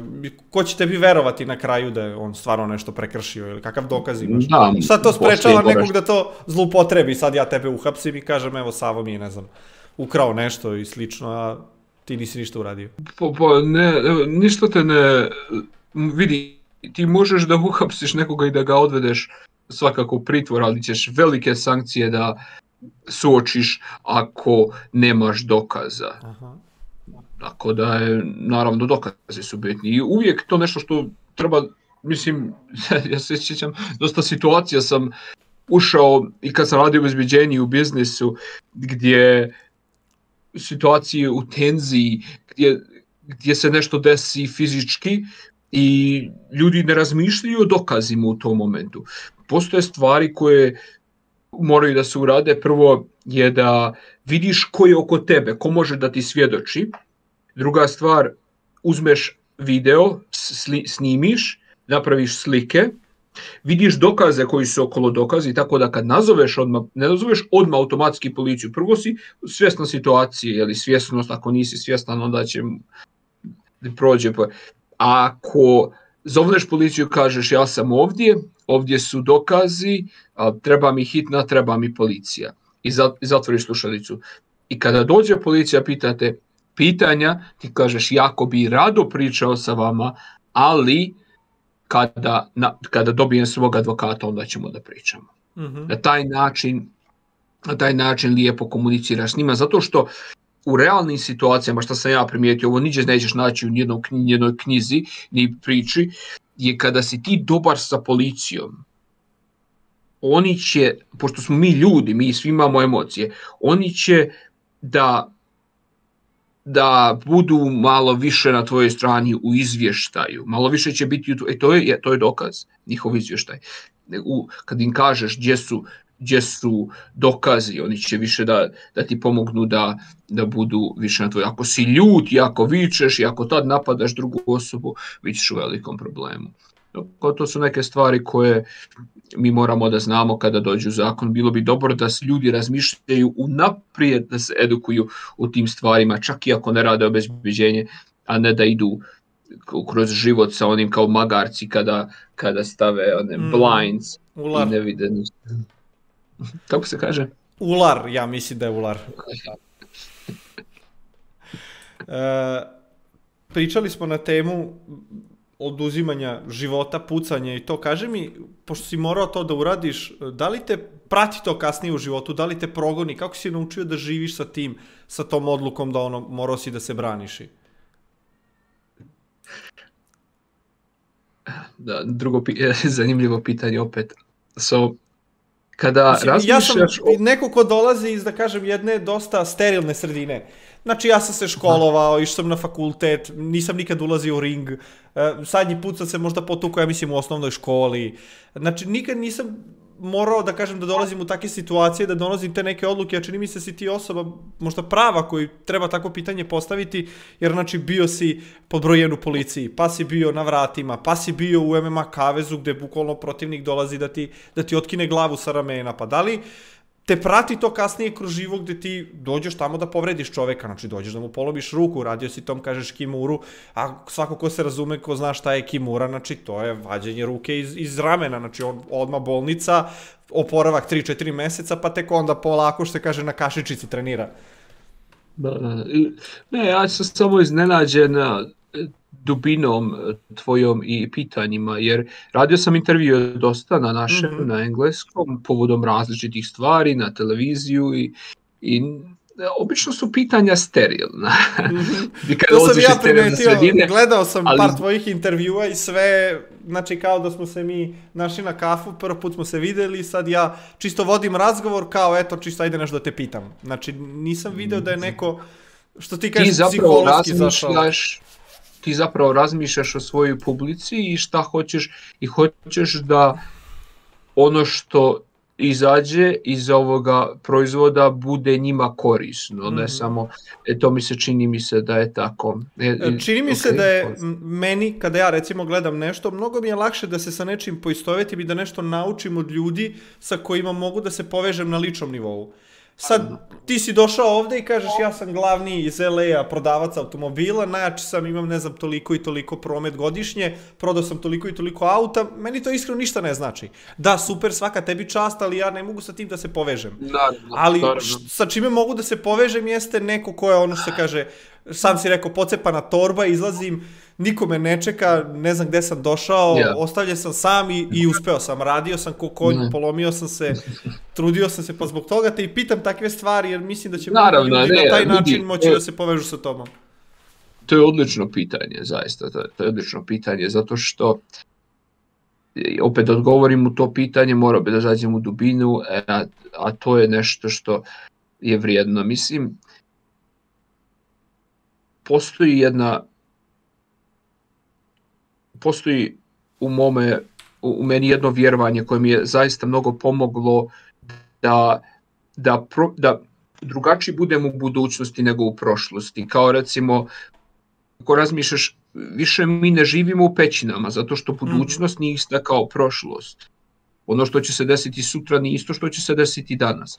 Ti prije 30 godina se bio u jednom sasvim drugom tijelu nego što si sada kad si bio beba. Sve se mijenja, samo je pitanje da li ćemo mi biti di- dio te promjene. Svaka ćelija se mijenja u pet godina. E sad, znajući to da je promjena neminovna, ja sebe pitam jedno pitanje koje sam naučio od svoga mentora. Kažem, da li je ono što si ti bio, ono što ti jesi sada, da li me čuješ? Ok. Čujem te, čujem te, Mislim da li- malo je zaštekalo, Mislim, okej. sad imamo opet problema sa konekcijom. Okay. Da li ono što si ti bio, ono što si ti sada, i da li bi isto uradio opet? I ako je odgovor da, onda, i da, onda znači imaš i dalje taj problem i onda možda hoćeš da radiš na tome i dalje.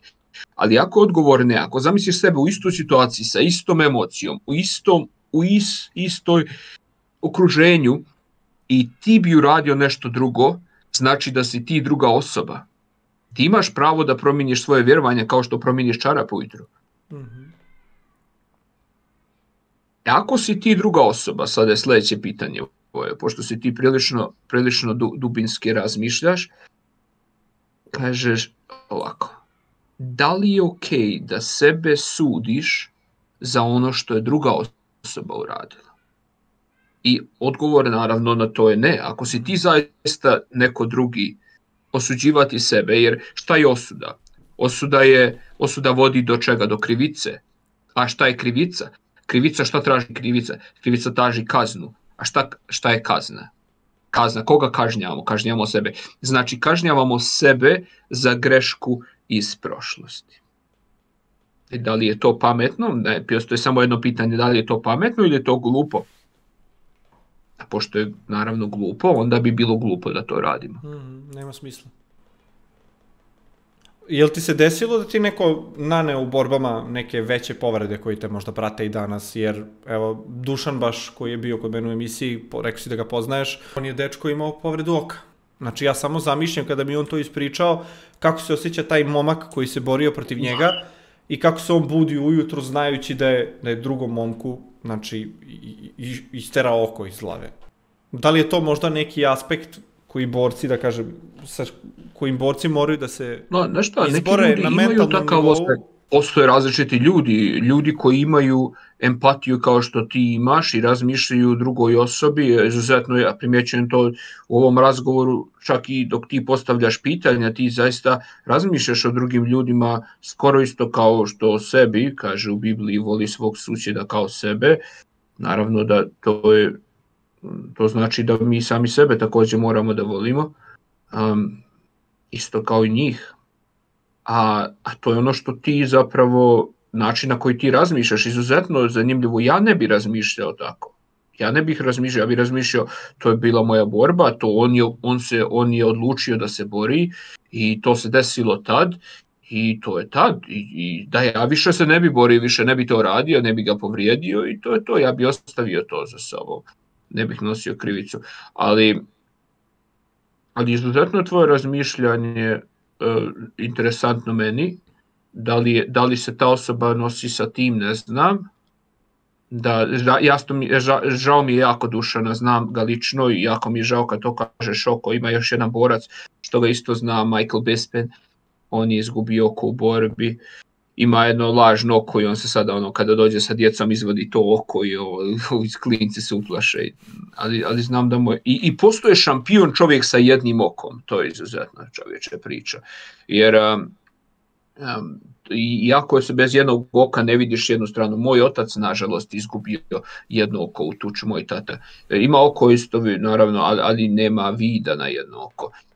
Tako da su to, to su jako teške povrede i pitao si me pitao si me prije Dušanovog primjera, prije tog pitanja si me pitao da li ja imam povrede, imao sam povrede koljena, imao sam povrede, možda ljudi vide kada pričam i objašnjavam ovaj prst mi je uvijek kriv ovdje, onda, onda isto ovaj, kameru može se vidi ovdje ovaj dio uh mhm. -huh. od udarca, kod palca mi je slomljen, um, um, lakat, koljeno, prste da nozi ima dosta, dosta malih kostiju kada udariš nožni, onda sa recimo ja gađam nekoga, gađaš ga recimo tri puta rebra, da bi on branio rebra, pogodiš onda ga to dosta puta kada ljudi postave lakat, desilo mi se da slomim uh, kosti u, no, no, no, na, na, e to je jako zeznute povrede, ne možeš da ideš, onda ti mišići atrofiraju, tako da to su sve, sve, sve, um, ja sam mislio da ja sam mislio da ćemo da pričamo danas više dosta o stvarima koje ja danas se bavim psihologiji, prodaji i tako. Mi pričamo o stvarima koje su se meni dešavale prije nekih 10-15 godina, mm -hmm. ali je to je okej. Okay. Ja, ja mislim da su izuzetno, izuzetno dobra pitanja i, i drago mi je da, da e, prolazimo kroz vidi, ovaj razgovor ja ne pravim, ja vidim da ćemo mi pričati još mnogo puta, znači ovo sigurno neće biti samo jedno viđanje i stoga jednostavno ne želim, što se kaže, da, da, da preskačem, da skačemo, ne znam, sa tog početka te tvoje karijere odmah na kraj. I, A, da. mislim, super da, da. je pričati o uspesima i to je ono što ljudi najviše vide, ali meni je cilj da stvarno ljudi od tebe nešto nauče, znači ja nisam tebe ovde do, doveo da sad mi pravimo neku senzaciju i da ti, ne znam, kažeš, Dalek. ja sam Kako zadavio... da je kraj. Tako je, da, ja sam, ne znam, zadavio čoveka u zatvoru, izgazio sam nekog u klubu i to, mislim, nije mi cilj da pravim senzacionalizam i na, na, na tome da, da navlačim ljude, nego iskreno ja vidim da u ovom razgovoru ja mogu da, da naučim puno o tebi i mislim da se više ljuči iz, iz emocije nego iz lekcije. Da. Ti sad kada pročitaš da. nešto u knjizi i ne možeš sa time da se povežeš, ne, ne probudi to, ne znam, nikakvu emociju u tebi, mislim da to neće dugo ostati uz tebe. A kada ti sa nekom situacijom se poistovetiš i to, da kažem, direktno uporediš sa svojim životom i pokušaš da zamisliš sebe u toj ulozi kao kako bi ja postupio, šta bi ja tu pomislio, to recimo ja ne znam kako bi se ono budio svako jutro znajući, ne znam, da nekom sam polomio nogu, da sam ga poslao u bolnicu slepog, da ne daj Bože da nastrada ili tako nešto. Znaš, to bi, to bi ostalo uz mene ceo moj život, ne bi mogao, ne znam, tako lako toga da se otresem i kao, je, sutra se probudim, ovaj u bolnici, a sad ono kao idem na picu danas, ono, ekstra dobio sam borbu, uz 80.000 eura, super mi je. Jeste, ti, ali vidi, ti to radiš što ti radiš u tvome životu i ti si dobar u tome što ti radiš zato što je tvoj mentalni sklop odgovara tome i siguran sam da ćeš još i više uspješan da budeš. Da si MMA borac, ja ne mislim da bi bio uspješan. Ne zbog, ne zbog, ne zbog načina treniranja, ti možeš svoje tijelo da dovodiš u vrhunsku formu, ali zbog tvog mentalnog sklopa ti si jako e, empatična osoba i ti razmišljaš o drugoj osobi. To je izuzetno što ja čujem. Definitivno će nešto što ću ja da razmišljam, o čemu ću da razmišljam, jer vidi, ja kad bih otišao nekoga uh, nasumice povrijedio na ulici, vjerojatno bi se osjećao loše. Naravno da bi se osjećao loše. Ali u borbama, u kavezu, mislim, možda i to i profesionalna deformacija tokom godina, znaš. Ja sam, ideš i ne razmišljaš, on je pristao, ti si pristao i to je to, šta se desi, desi se, kao ruski rulet da igraš. Samo što je ovdje igraš ruski rulet s automatskim oružjem, pošto je uvijek će se desiti nešto, jebika. E, čak mi je interesanta priča gdje si ti osvojio te dve titule svetskih šampiona u kickboksu i MMA i čuo sam negdje da si na oba ta takmičenja došao povređen u stvari. Mhm. Mm ja. Pa, znaš šta, ni samo ja, ja mislim preko 50% boraca dođu povređeni na takmičenjima. Zbog čega? Zato što tada najviše treniraju, tada najviše sparinguju. Tada je naj... Zato što se pripremaju za meč i u pripremama se desi povreda. Tako da logično najviše ljudi dođu povrijeđeni na meč. I ne znam, mislim da ne bi nikome a, preporučio profesionalizam u MMA kao nešto, da sada ja imam sina i da mu kažem ovo je pravi put, mm, teško bi mi bilo da ga gledam da prolazi što sam ja prolazio. Eto. Ali da li će ga napraviti jačim? Da. Tako da svaki mač ne, ima dvije oštrice, svaki, svaki zlatnik ima dvije strane. Ne znam. I kraj, da kažem, te neke tvoje MMA karijere desio se tvojom borbom u, u Belatoru, kada si izgubio i koliko sam ja shvatio iz tvoje priče, ti si posle toga i odlučio da prestaneš time da se baviš i otišao si u Ameriku da se baviš biznisom. Ja. Mm -hmm. Da, to je, to je ona zadnja borba što sam ti pričao mm -hmm. ovdje. Kad ste obojica završili toga, u bolnici? Ja, ja. Poslije toga sam počeo da razmišljam malo na drugi način, da formiram porodicu i da radim svoj biznis.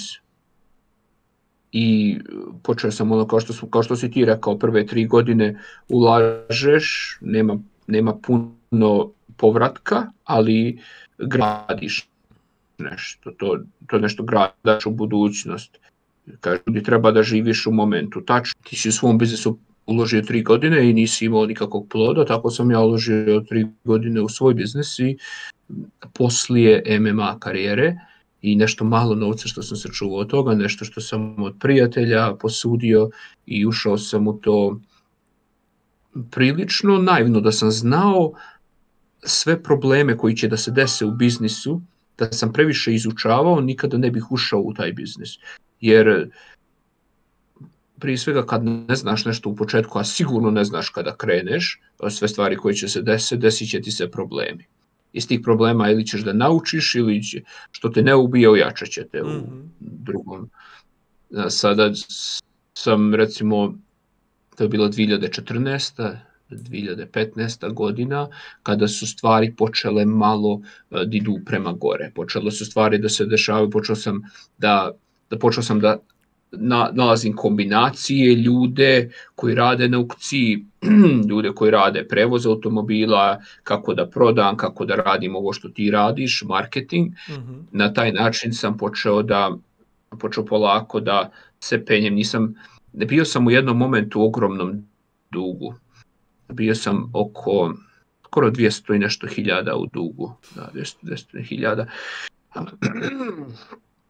I tako da to, to je sve bilo to je sve bilo tako do neke 2014. i u tom, u tom vremenu pre kraju toje godine sam počeo da da, da, da shvatim, da osjećam šta se dešava, kako stvari funkcionišu, počeo da pratim market i, i tada su stvari počele da idu prema bolje.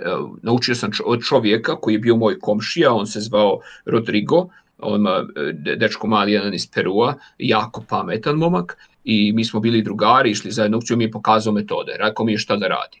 I, I danas me momci pitaju kako da počnem svoj biznis. Prije svega znaj šta hoćeš i pitaj sebe da li je to ono što ti voliš. Kao momak ja volim auta, ja dosta da rad, da prodajem, da volim novo sportska auta, motore, to je nešto što ja volim, pored drugih stvari što volim.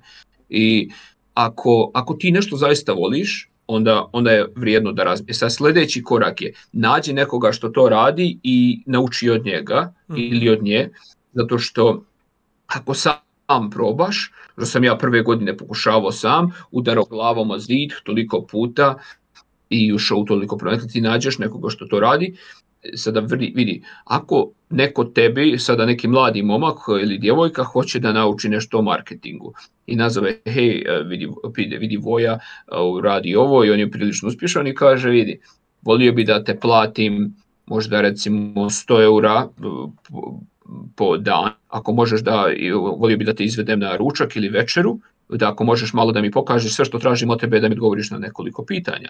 I ti ćeš, ti ćeš prije svega da se možda ćeš da prihvatiš, možda ne. Dosta ljudi neće da pita zato što se plaši odbijanja, zato što način nije, nije to što se desi, nego način na koji oni vide to što se desi, oni se plaše da, ti, da te pitaju.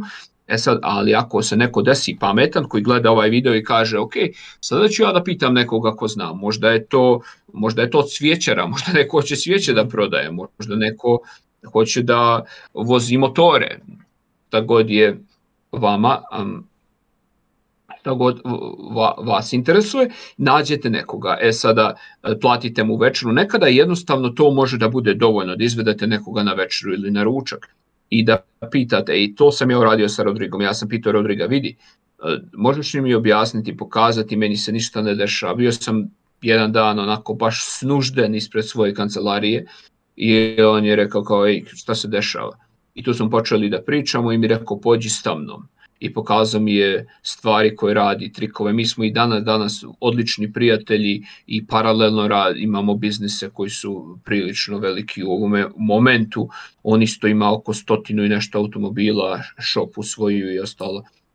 Tako da je, da, o, ja sam dan danas njemu zahvalan i kada dođe Božić i praznici ode mi. I na taj način mi održavamo vezu i danas on dođe kod mene i pita, vidi kako ovo ide, šta ti radiš s ovim, kako financiraš, E, mislim kada nam ego nije, kažu ovdje through the roof, da je ogroman ego, mi onda možemo da pristupimo i pričamo, kao što ja i ti danas pričamo, mm. razmijenimo podatke, ti si mi pitao da uradimo intervju i ja sam pogledao tvoje video, vidim da si pametan dečko, radiš pravu stvar i rekao, ok, radit ćemo. I sad svaki put kada uđeš u takvu razmjenu, ti imaš mogućnost nešto da pokupiš i da naučiš da odnoseš nešto sa sobom. I to je nešto što sam ja danas jako zahvalan njemu, zato što, je on, zato što mi je on pokazao pravi put. Znači, naći model. Možda više modela koji, ako neko hoće da postane, ima više samopouzdanja, neka, neka uzme na YouTube i nađe nekoga koji je već samopouzdan i, i vidi kako ta osoba priča, kako se ta osoba kreće i u najboljem slučaju možda upozna tu osobu lično i razmijeni neko iskustvo. Znači, ljudi imaju već ljudi koji su nešto radili, tako da je to je moj odgovor. Tako sam ja krenuo i tako sam počeo da se penjem, kažu ovdje, kaže, kažu Amerika je stepenice, stepenice nego uh, leder, a nešto se kako se kaže, merdevine, da, lestvice, su, dobro. da, što, koje, koju treba da penješ, koju, na koju treba da se penješ. Že samo treba da samo treba da obratiš pažnju da kada dođeš do vrha merdevine, da merdevine nisu naslonjene na pogrešnu zgradu. A pogrešna zgrada bi bila radeći ono što ne voliš. Mhm. Da bi zadovoljio neku potrebu možda, da bi dobio neko priznanje od prijatelja ili od možda nekoga koji nije toliko, nije toliko bitan. Ali kako je izgledao taj tvoj, da kažem, početak u Americi, znači posle tog sjaja i da kažem, izgleda koji si doživao, znači sleteo si tamo, super su kola, velike su ulice, ima puno Mm. mogućnosti, međutim ti si jedan običan momak iz Crne Gore sa nešto para uštekanih i sa ono nikakvim iskustvom što se tiče biznisa, što se tiče posla, jesi prvo bio primoran da radiš neke, da kažem, ono, osnovne poslove E. koje uglavnom ljudi rade koji odu tamo ili ne znam, voze kamion ili rade u kuhinji negde ili neke fizičke poslove, ono, natovare i na onaj kamion s Meksikancima i na građevinu. Odlično, odlično, odlično. Vidi, vidi, a mene je Bog pogledao u jednom smislu da sam upoznao djevojku našu koja, je, koja priča naš jezik i koja me naučila engleski, ona je dugo ovdje i ona je završila medicinski fakultet i, i na taj način sam počeo ja bih otišao sa tom djevojkom u, teretan, u teretanu i ona mi bi pomogla da nađem nekoga recimo za sparing, nekoga koji, jer tad u to vrijeme sam trebao da imam meč ovdje u Americi i nisam imao dovoljno novca da platim ljude za sparing, ovdje sve mora da se plati uglavnom. I kada recimo ona ne bi bila tu, ja ne bi znao kako da komuniciram i bio je jedan momak koji radi, on radi boks, ogroman jedan lik. I kažem ja njemu, rekao, hoćemo li ja i ti da sparingujemo? I pošto naravno nisam znao da pričam engleski, ja mu kažem, me, you, um, you know, together, kaže on meni, on misli da se ga ja zovem da izađemo, razumiješ, i počne da, počne, počne naljutio se i krene on prema meni, a mislio sam doći onda sparingu odmah ovdje bez rukavica, počeo da maše, razumiješ. I, i, o, i tako da to su bile su incidenti, znao, nisam znao kako da pitam da odem do WC-a, razumiješ, znači bilo je, bilo je dosta sramotnih situacija. Bio je bio je jedan momak ovdje e, davno što je došao, ima ta priča kad je došao i upoznao ljude koji su trebali da mu pomognu, koji su bili mormoni. I on je rekao na engleski, naravno, pošto nije znao, kaže, kakav je život vas kao moroni, kako je, kakav je, i ovih ljudi ga napali, htjeli da ga izbaci iz prostorije.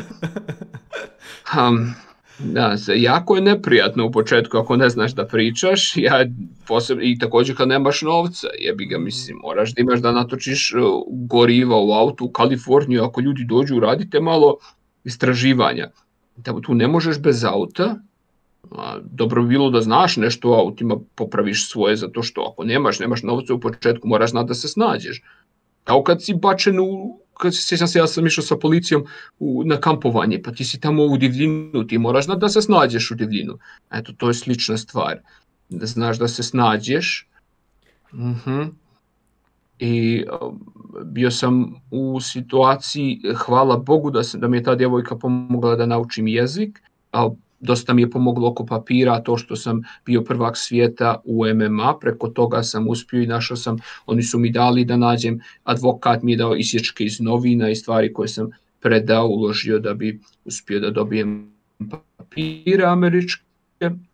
I kad sam krenuo, radio sam, pošto zaista razne poslove sam radio, noseći od uh, fizičkih poslova kao građevina, recimo jedan od naših ljudi ovdje što radi građevinu, jedan čovjek Staniša, on mi je rekao, ajde dođi da ti pomogne malo da radiš za mene, i on dan danas ima firmu, danas ja njemu pomažem, on mi je sada kum, ja njemu danas pomognem oko automobila, na primjer. Sve su u životu dođe, kažu, baci niz vodu i idi uz vodu i naći ćeš dobro.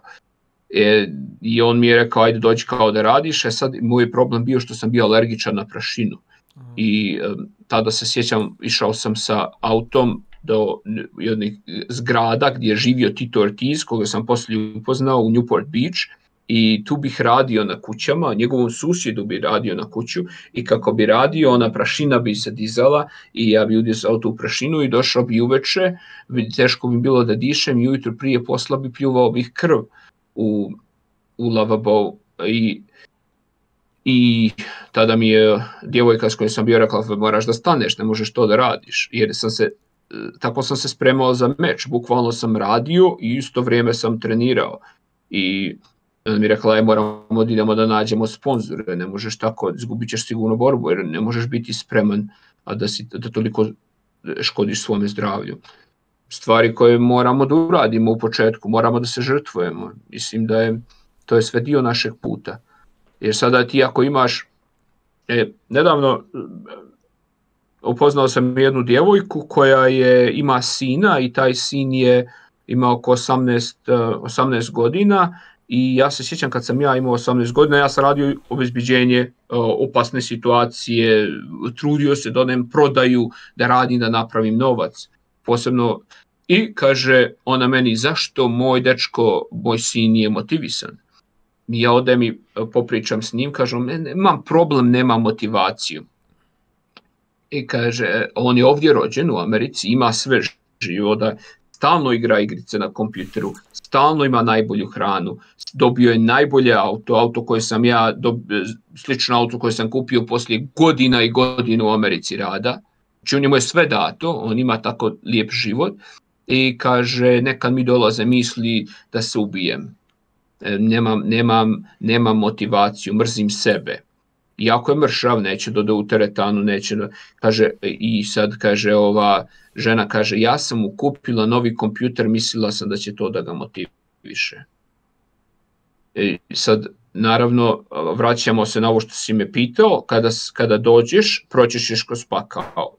I taj pakao, budi svjestan da ćeš proći, kada prođeš, bit ćeš mnogo zahvalan zahvalan tome posle situacije. Ti kažeš, ti kažeš sebi, neću nikad više da budem onakav kao što sam bio. Zato što neću nikada prolazim kroz taj pakao koji sam prošao. Neću nikada živim u takom stanu koji sam živio, u toj sobi, u tom da moram da dijelim sa cimerima, da prolazim kroz taj pakao. Ne, nikad više to neću dolaziti u taj, tu situaciju.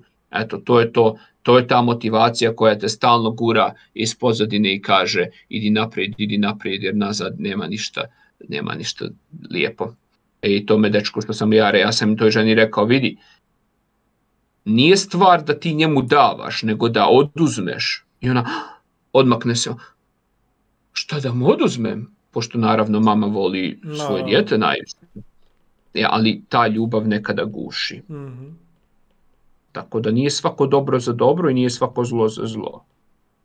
Kaže, kaže Sveti vladika Nikola, jedan od svetaca, kaže svako dobro izbliza je loše iz daleka i svako zlo izbliza je dobro iz daleka. Kaže, samo dobijanje Boga je dobro iz daleka i izbliza. To je, to je ono što je on pričao i to je ono što sam ja shvatio. Samo je, ljubav je samo ono što imamo, za uvijek niko ne može da nam uzme ono što damo drugome, zato što smo dali drugima tako da ne mogu da nam uzmu. Eto, e, to je, to je ta situacija gdje je jedan momak koji, je, koji nema motivaciju i u poređenju sa nekim kompletno drugim životom, sa nekim ko se probijao, kao što si se ti recimo probijao kroz školu, gradio svoj biznis i danas i naravno hoćeš najbolje za sebe, za svoje djete, imaš hiljadu stvari koje te motivišu u životu, da uradiš ovaj intervju koji sada radiš. Takođe, imamo sa druge strane ljude koji, koji, koji se probude i ne namjeste svoj krevet. Mm -hmm. I ja im kažem, počni od toga da namjestiš svoju sobu i vidjet ćeš šta će se desiti.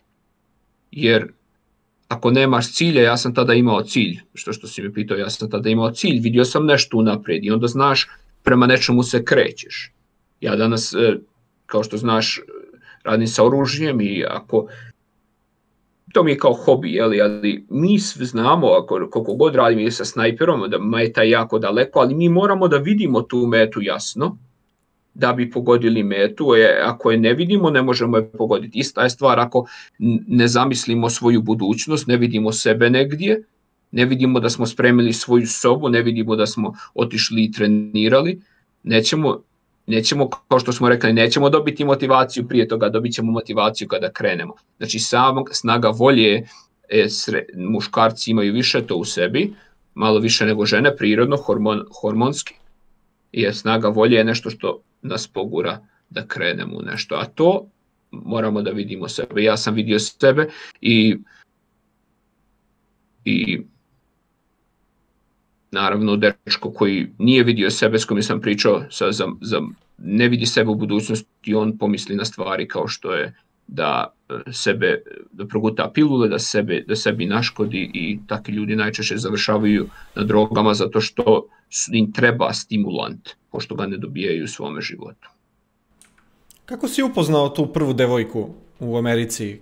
Kako si uopšte došao do nekih ljudi, do nekih kontakata? Koliko se sećam, ti si bukvalno dobio taj ugovor sa Belotorom, oni su ti obezbedili valjda neki smeštaj, jel tako? I to je to, evo ti, pripremaj se, tad ti je borba i šta uradiš, uradio si.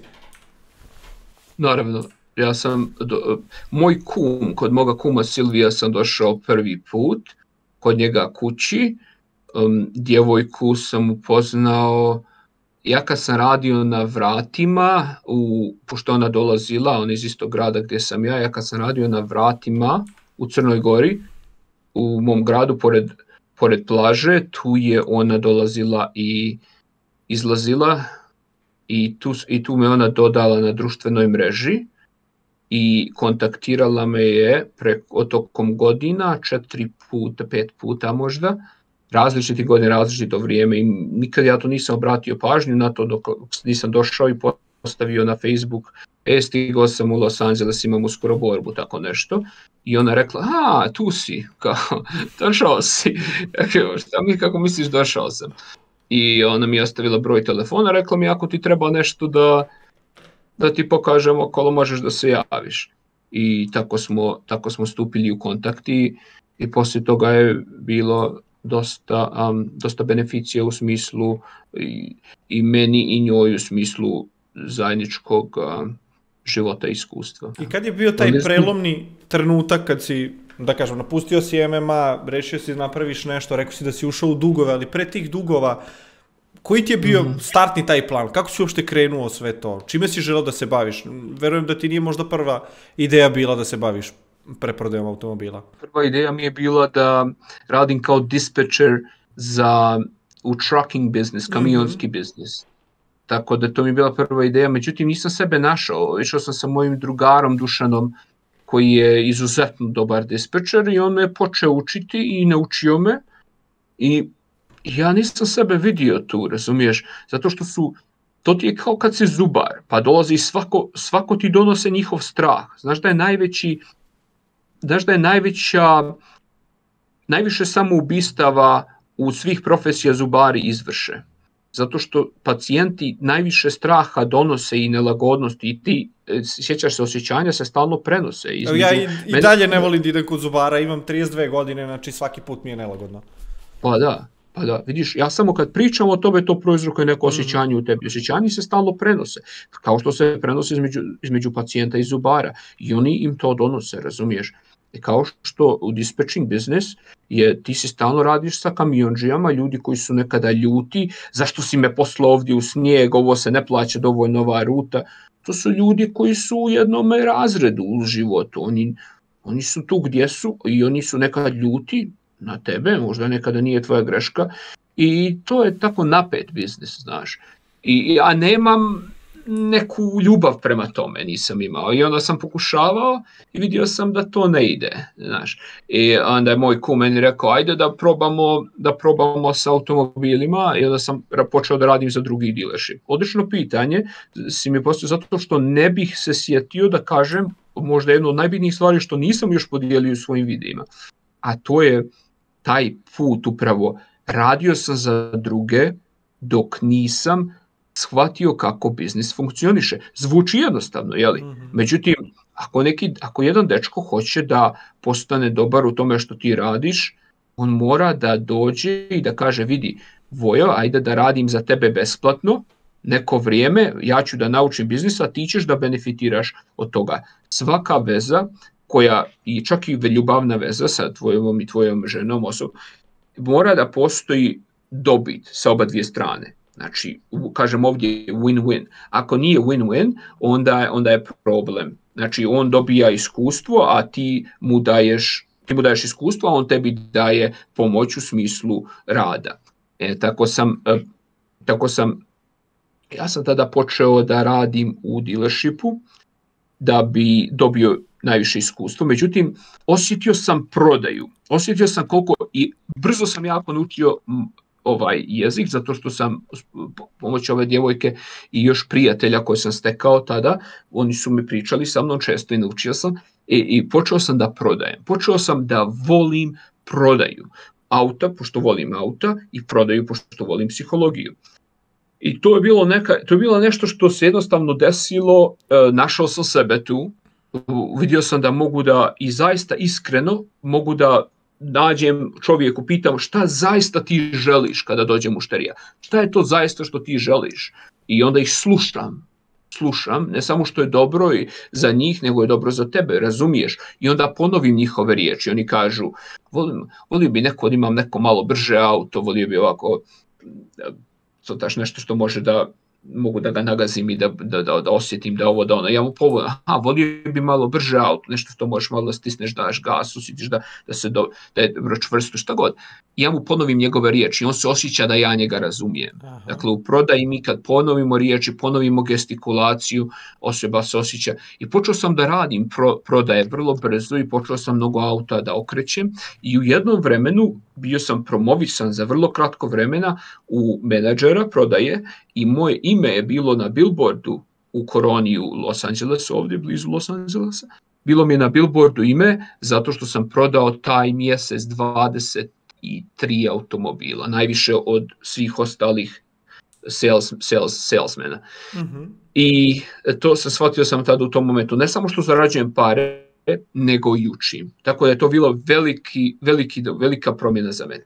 Jednoga dana je došla jedna Meksikanka, žena koja je čistila kuće i došla je u dealership i rekla ja hoću da kupim jednu malu Toyota Tacomu, a kao mali jedan pick-up kamion, kamiončić, kako se kaže to kod nas? Pa mislim da isto ljudi koriste rec pick-up uh, kamionet, ja? tako?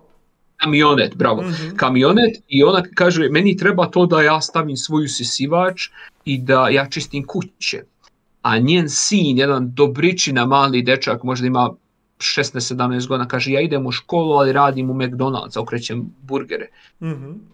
I kaže, i kaže on, kaže on, sve što mogu ja da priuštim je 300, 390 dolara na mjesec i kaže i dođe dođe generalni menadžer tada jedan jedan jedna osoba vrlo rijetko ćeš da čuješ da ja kažem loše o ljudima međutim najmanje što bi rekao je ova osoba nema srca.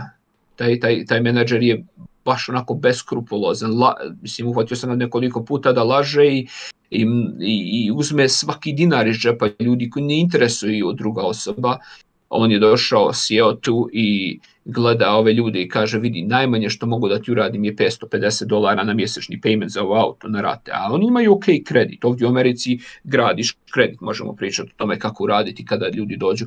Međutim, kaže, sjedi ovaj i gleda ih u oči i kaže 550 je najmanje. I ova žena samo što i suze ne idu na oči zato što ona nju, to treba radi posla, ona mora da ide da čisti kuće da bi prehranila, ima još dosta djece i ovaj njen dje, sin joj pomaže oko uzgajanja ostale djece.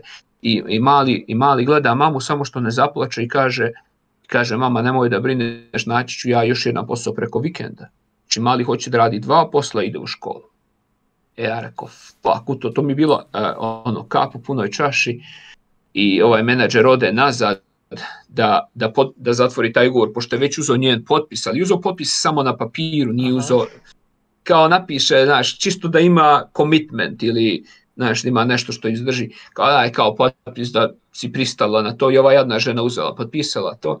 I ja rekao, to je bio moj zadnji dan na poslu, ja kažem to je ženi, nije zato što sam, zadnji dan što sam ja htio, nego sad ću ti reći šta se desilo.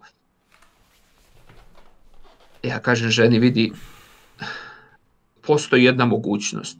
Možeš da nađeš prodaju preko interneta, ona priča španski, ovaj mali sin njen prevodi pola-pola, e, možeš da nađeš preko, one Meksikanka, možeš da nađeš preko interneta da preko jedno, postoji jedna, zove se Costco autoprogram, možeš da nađeš da dobiješ jeftinije, da dobiješ veleprodajnu cijenu, sve što moraš da uradiš je da ukucaš svoje informacije tu i jednostavno, vrlo jednostavno, kao što si me ti danas naučio kako da koristim ovaj program, skini aplikaciju, kucaj, razumiješ, ali samo to malo znanje će da sačuva ženi 10.000 dolara. Nekada je to sve što može da se...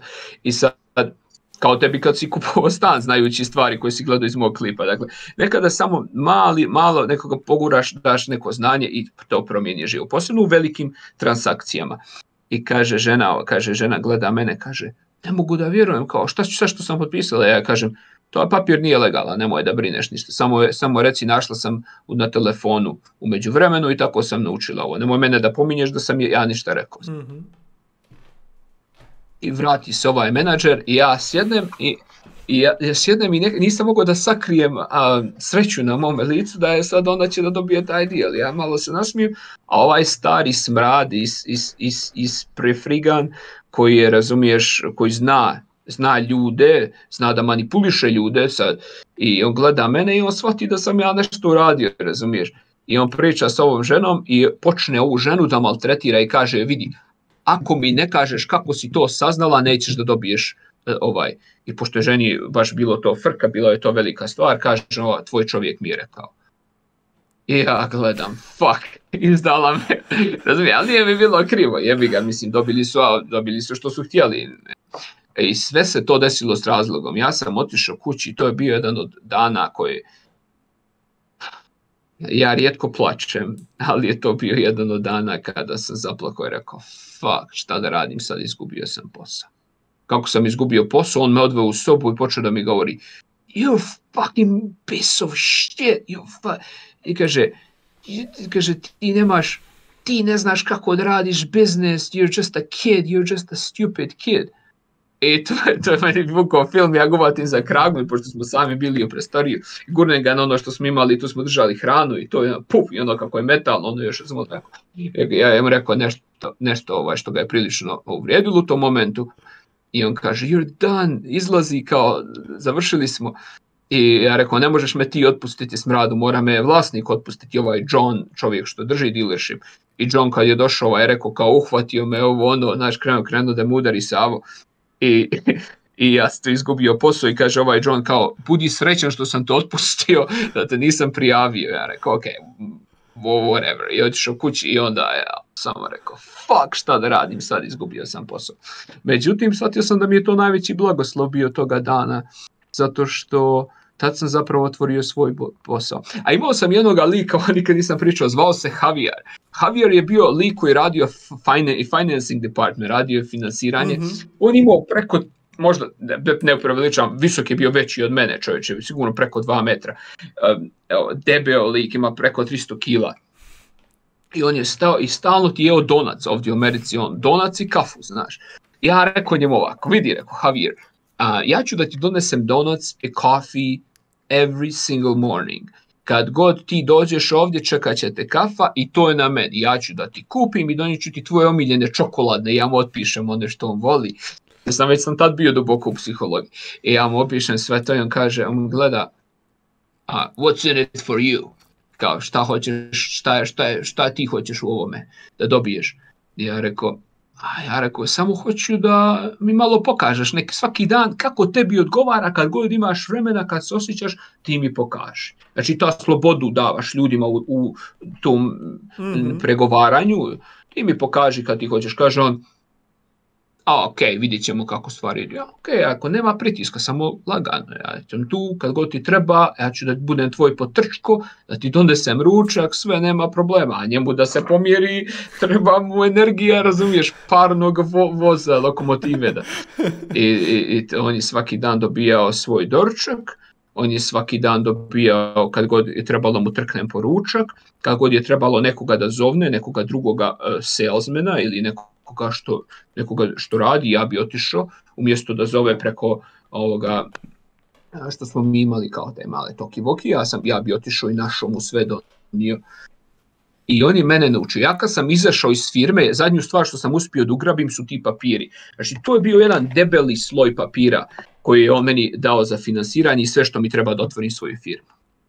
I tako je, Tako znači je, ti si podsvesno u stvari odsjetio tu šta bi se moglo desiti, da kažem spreman si izašao odatle.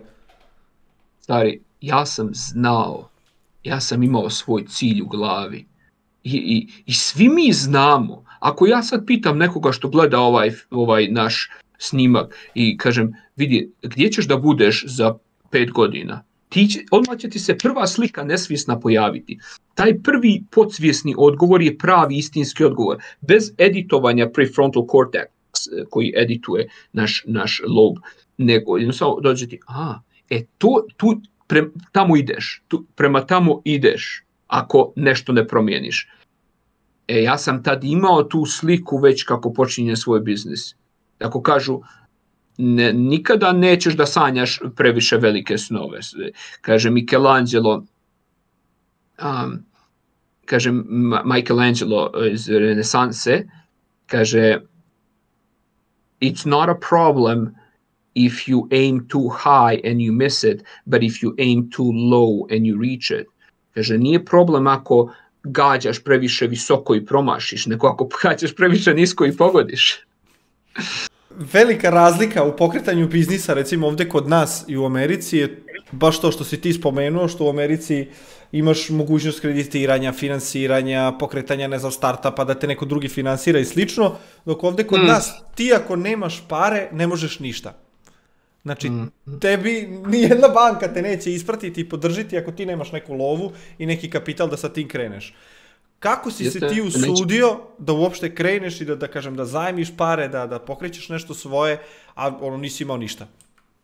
Vojo, vidi, ti moraš da gradiš kredit u Americi. Ne možeš ti da dođeš u Ameriku dobiti papire i oni ti daju kredit. Mm -hmm. To tako ne ide. Ti imaš nešto što se zove FICO score i, i imaš social security number koji koji svaka osoba ima svoj broj, što je malo bez veze koje životinje, ali taj broj kada pogledaš vidiš kako si, šta si kupovao u prošlosti, kako si otplaćivao i to vremenom se gradi, znači trebaju ti godine. Nisam ja baš e, kredit iz banke veliki mogao da podignem odmah u, u, u početku, međutim jesam izmanipulisao sam sistem dosta naših ljudi pametnih što dođu, shvate kako radi sistem, moj prijatelj me stavio na njihove na njegove kreditne kartice i moja prijateljica. I tako na taj način sve što je bilo na njihovoj kreditnoj istoriji došlo je na moj. Tako sam ja uspio da pozajmim, a druga stvar uspio sam takođe dva velika uh, moja prijatelja Aldi, čovjek koji je albanac, znači moj jedan od najboljih prijatelja ovdje, on mi je, on mi je rekao, ja sam njega trenirao tad, MMA, i tako se ljudi zbliže, ja sam učio, on je, on inače mu veliki, veliki biznismen ovdje, ogromno ima firmu i svega kupio, ne zna, ne zna ni sam gdje šta ima sad. Međutim, on mi je rekao, ok, posudit ću ti ove pare, pošto ti vjerujem, šta će, on me pitao, šta će se desiti ako ne uspiješ u biznisu? Ja sam mu rekao, radit ću taksi i otplatit ću ti sve do zadnjega. I on me, već me dovoljno zna u to vrijeme da zna da govorim istinu i rekao je, ok, evo ti novac. Tako da je ogroman pritisak bio, jer sam ja znao da ću raditi i otplaćivati mu, što će mi biti usporiti sve, usporit će mi moj život, usporit će mi pravljenje moje sobstvene familije, ali ali morao sam da rizikujem jer poslije bi zažalio. U, jer nikada mi ne zažalimo kada na, na smrtnoj postelji u, od onih stvari koje nismo koje, koje nismo uspjeli, već od onih stvari koje nismo probali. Mm -hmm. I tako da, ta, da, da nisam probao, rekao sam i Da, tako da, eto, to je u Americi, ipak sam više uzeo ličnog novca od njih nego od banke. A, to mi je dosta bilo pritiska, ali opet nekad je pritisak dobar, nekad je anksioznost dobra, nekad je strah dobar, zato što nas natjera da se da pomirimo guzicu i da, da radimo, da spavamo manje, radimo više, ko što Schwarzenegger kaže. Izabrao si prilično, da kažem, riskantan posao, gde početna ulaganja moraju biti velika, znači morao si da zakupiš plac, jel tako? Morao si da kupiš te automobile koje želiš da prodaješ, onda se obavežeš da ti automobili stoje u tvom vlastištu ko zna koliko vremena dok ih ne prodaš, kao imaš novac, a u stvari ga nemaš, dok ti, da, da kažem, ne dobiješ taj novac i plus još što je, da kažem, metod poslovanja takav iz godine u godinu da ljudi sve više kupuju stvari na otplate. Pa i taj novac koji dobiješ ne leže ti odmah, nego kroz x meseci ga ti dobiješ. Jel tako to funkcioniše? Ili to oni vraćaju banci, a tebi legne sve? Da, da, da, da, da, dosta puta ti novac stiže vremenom, znači moraš da ulažeš i da razmišljaš, ok, ovi će mi to platiti za 5 Mhm. godina. Znači, znači to su A tebi ljudi- računi stižu i moraš sve da plaćaš e, kako ti stiže. E sad moje pitanje je kako si preživeo tih prvih x dana, meseci, godina, tri kada godine, si da. u konstantnom minusu i samo... otplatio, da, da. Tako je, daješ, daješ, daješ, a nemaš živ keš nikad u rukama. Da, da, da, da.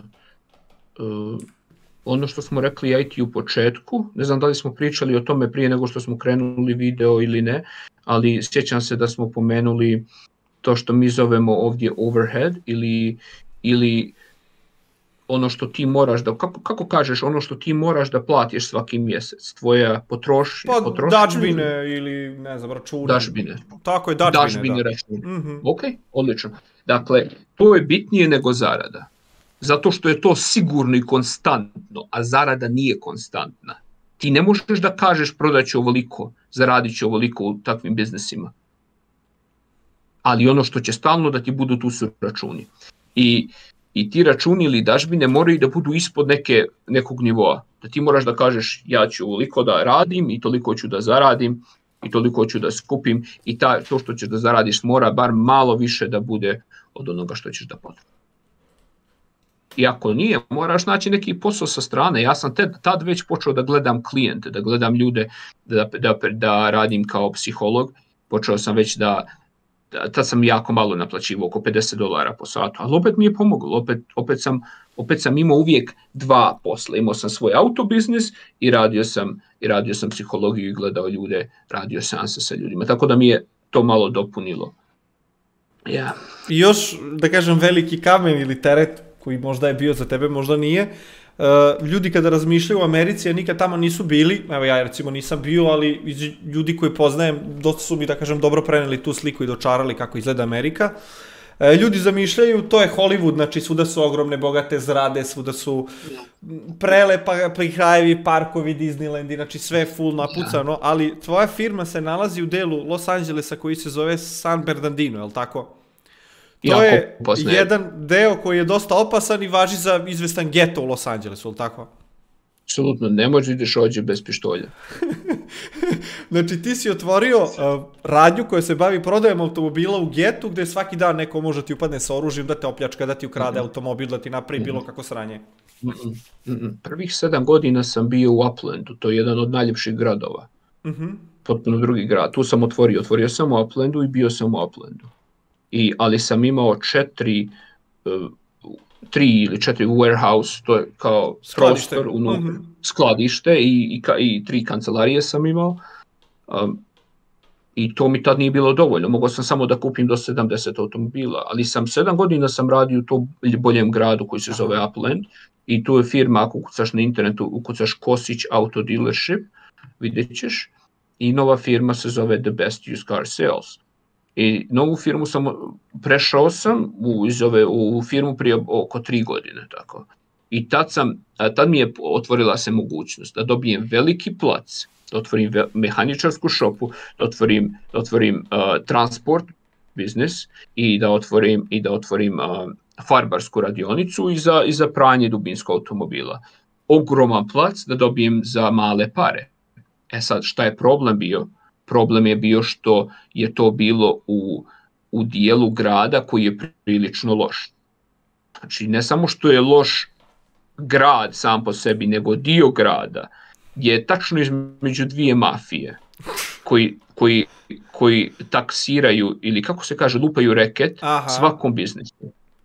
Ja kad sam došao prvi put, gazda mi je dao da, eh, je, da sada praktično ja ku, ku, eh, ku, kupujem ovu zemlju i sve ostalo. Mi, imamo, mi smo imali dogovor jako jeftino zato što zato što on se plašio da dođe u sopstvenu u sopstvenu um, kancelariju. To je tada, ovo je sad nje- njegovo bilo tad. Ja sam došao prvi dan i počeo sam da čistim narkomane koji su bili okolo. Ja došao jedan crnac koji je došao sa autom i rekao, vi ćete meni da date ovo ili ću ja da vas... I, i onda smo ja i moj brat izašli i očitali mu lekciju. To je davno bilo. Ali, ali na način što smo rekli, vidi, ovo je naše ovdje i pokušali su da dođe, da lupe reket, pokušali su mafije, po- pokušali su različite stvari Međutim, uskoro su saznali, vrlo brzo su saznali ko smo mi i ljudi koji su bili oko nas. Sagradili smo veliku ogradu oko našeg prostora gdje smo i više niko ne ulazi. Ovdje je mir. Znači mi imamo ogromnu, ogroman prostor, ogromnu, ogromno skladište, šopove, gdje niko živi i ne dođe oko, osim mušterija. Već mjesecima, godinu dana niko nije ušao da napravi problem. Otvorimo kapiju, sam izgradio i veliko je zovu bi, bi, bi, otvori se, uđe, uđe osoba sa autom, zatvori se i to je to. E sad, ja naravno gdje živim, gdje provodim vrijeme, gdje izlazim su potpuno druga mjesta, ali ovo mi je za rad idealno, zato što je jako jeftino bilo u to vrijeme i sada ogroman proizvod, dosta novca se sačuva sa strane. Ko, koliko je bezbedna Amerika? Kako je živeti tamo? Znači, eto, ti sam kažeš da ste ljudi dolazili na plaz da ti prete, mislim, ti si opet tu stranac, ne poznaješ ljude. Kako ste se zaštitili? Ljude poznajem, Mhm. a stranac jesam i oni znaju da sam stranac i znaju da sam bijelac. U, u ovom, u ovom dijelu ovdje nema dosta bijelaca i oni nas bijelce baš i ne vole toliko zato što je uvijek bilo to da su bijelci bijela krv, kraljevska krv, prva klasa, svi su naš samo priču, istoriju, robovi i ostalo. Tako da nisu baš prijatni, ali, ali oni misle da smo, da smo mi, ja i moj brat i moj, neko, naša ekipa ovdje, on misle da smo mi ruska mafija, što nema smisla nikakvog, ali ok, tako oni nas zovu, razumiješ? Ja, mislim, mene baš briga, ja radim svoj posao, razumiješ, neka me gledaju kako hoće da me gledaju. Ali um, je a, prilično je napeta situacija i u zatvoru ako odeš između španskog porijekla Hispanic, e, Meksikanaca, Crnaca, Bijelaca, onda imamo e, ove ko, Koreance, Japance, onda imamo e, Indijance, e, tamo ove sa Havaja, različiti ljudi, različite grupe, razumiješ?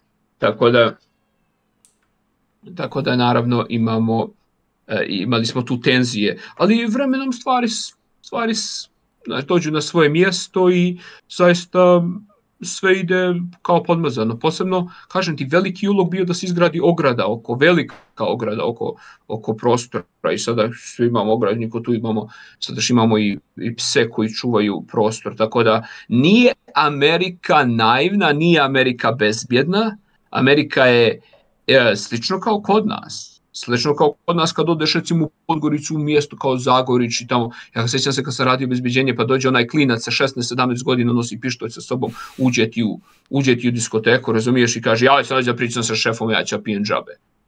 Razumije. Dakle, svuđe se dešava. Ja sam stalno bio izložen tim stvarima u svom životu, a što te ne ubije ojačate, tako da je neminovno i, i možda sam sam privukao takvu sredinu zato što sam bio otvoren prema tome i nisam se plašio i mislim, u stvari ne bih rekao da se nisam plašio, plašio sam se, ali sam imao više sigurnosti i možda više, kako bi rekao, courage, Hrabrost. hrabrosti. Više bi više imao hrabrost. Znači mi nikada ne nama nikada strah ne nestane kompletno, nego samo izgradimo hrabrost da uđemo u neku takvu situaciju. Tako da da, to je bilo prije tri godine. A prvu kompaniju sam otvorio u Uplandu. Upland je mnogo lijep, miran, fin grad. E, bogati ljudi žive tamo. Samo što nisam mogu za veliki prostor jer sve je kupo. Znam sotaš ti kada živiš u gradu ljepšem, da ti si u Novom Sadu tamo gdje možda u nekoj boljoj oblasti i svi hoće da kupe stanove, svi hoće da kupe gdje je bolje, a gdje, gdje je više kriminala, možeš da dobiješ više za jeftinije, naravno. I moj cilj je naravno da se da idemo iz ovoga grada, možda ovo sve ovdje prodamo i odemo e, kako vrijeme ide u bolju, u bolju oblast. Znači, otvorio si svoju firmu, dobio si novac, kupio si plac, kupio si prve automobile.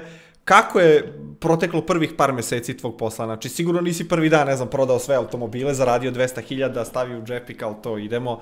Sigurno tu bilo neki problema, nije baš sve išlo u početku onako kako si možda mislio. ovako auto aukcija radi, pošto siguran sam da gledaoci hoće da znaju, posebno momci, hoće da znaju kako funkcioniše auto aukcija. Kažu, svi možeš da dobiješ jeftino auto za 100-200 dolara, tačno možeš da dobiješ jeftino. Međutim, ljudi koji prodaju su mnogo iskusni nego ti što kupuješ najčešće. Dakle, doće neko iz velike firme i on će da vidi ja ne mogu ovo auto da prodam, auto ima nekih problema i on će to da zamaskira, da to izgleda naj, da najmanje ima problema i onda će ga poslati na aukciju bez ikakvih odgovornosti, on to može legalno da proda tebi, auto može da ima raznih problema, da ne može da prođe inspekcije i to i ti, ti kupiš i sad si, sa, sa si zarobljen s tim autom. Mhm. Ja sam u početku išao, mislio sam da sam popio pamet ovoga svijeta, pošto sam bio jako mladi, naivan, i onda sam otišao na aukciju i rekao, a vidi ovo auto izgleda dobro, sigurno ću ga prodati najmanje duplo, daj vamo. I onda sam se zarobio sa nekim autima koji su imali ogromni problema sa mjenjačima, sa motorima. I, i e, sad onda sam, šta je zanimljivo, juče me zvao čovjek koji je radio prije mene, za mene pre, preko 10 godina je prošlo, on je mehaničar koji je radio i tad sam, tad sam unajmio tad sam ga unajmio i on kaže meni, Savo vidim da si napredio, širio se biznis, volio bi da dođe malo kod tebe da vidimo. Opet kaže, nisam više mehaničar, sam vozim kamion, ali volio bi da dođe malo da se vidimo. A, tada, sam, tada sam njega unajmio, on se zvao meni i on je e, prilično onako jedan bio nije nešto napredan mehaničar da kažemo i ja sam pokušavao sa njim i još jednim dečkom da riješimo probleme, koji ogromni problemi koji su došli, dosta tih auta su imali problemi, ovi koji nisu imali probleme su se prodali, ali ovi sa problemima su i ostajali, nagomilavali se, nagomilavali se. I onda, smo, I onda sam morao da počnem da ulažem u šopu. Počeo sam da ulažem prvo kako sam napravio mehaničku šopu, tako što sam počeo da ulažem, da bi popravio svoje automobile. Kad ti treba alat, ti ga kupiš, treba ti drugi, ti ga kupiš, treba ti tre... i tako počneš da gradiš i odjednom prije nego što se okreneš imaš preko 100.000 dolara uloženo u alat. E sad, sad, sad u jednom momentu kasnije sam razmislio i rekao, o, vidi kad imam već ovog alata, mogu bi da radim popravku drugim ljudima kad već ima zaposlene ljude. Tako da je to bio jedan od jedan od kasnije jedan od razloga zašto sam da tako sam počeo sam da ulažem u to počeo sam da učim prodaju, marketing, kao što sam ti rekao, to što ti radiš, počeo sam da shvaćam kako stvari funkcionišu i polako da ulazim u priču. Kako je neko ko, da kažem, dođe iz Evrope ima potpuno jedan drugi mindset što se tiče automobila, znači kod nas, e, ako je auto mora biti nemački, mora da bude manualni menjač, mora da, ne znam, ima malu potrošnju, da bude efikasan, ekonomičan i onda dođeš u Ameriku, tamo svi voze džipčine, kamionete, voze kola sa ne znam koliko kubika, svi imaju automatske menjače. Koliko ti je trebalo da se uopšte prilagodiš na taj njihov mindset i da skapiraš šta u stvari oni žele da kupe, a ne možda šta je tebi lepo i šta bi ti volao da prodaš? Einstein je rekao da je inteligencija odraz prilagođa, brzine prilagođavanja. Dakle, mi sebe možemo da možemo da pokušamo, ima dosta ljudi što dođu ovdje i pokušaju da promijene Ameriku. Mm -hmm. Pokušaju da donesu svoju kulturu.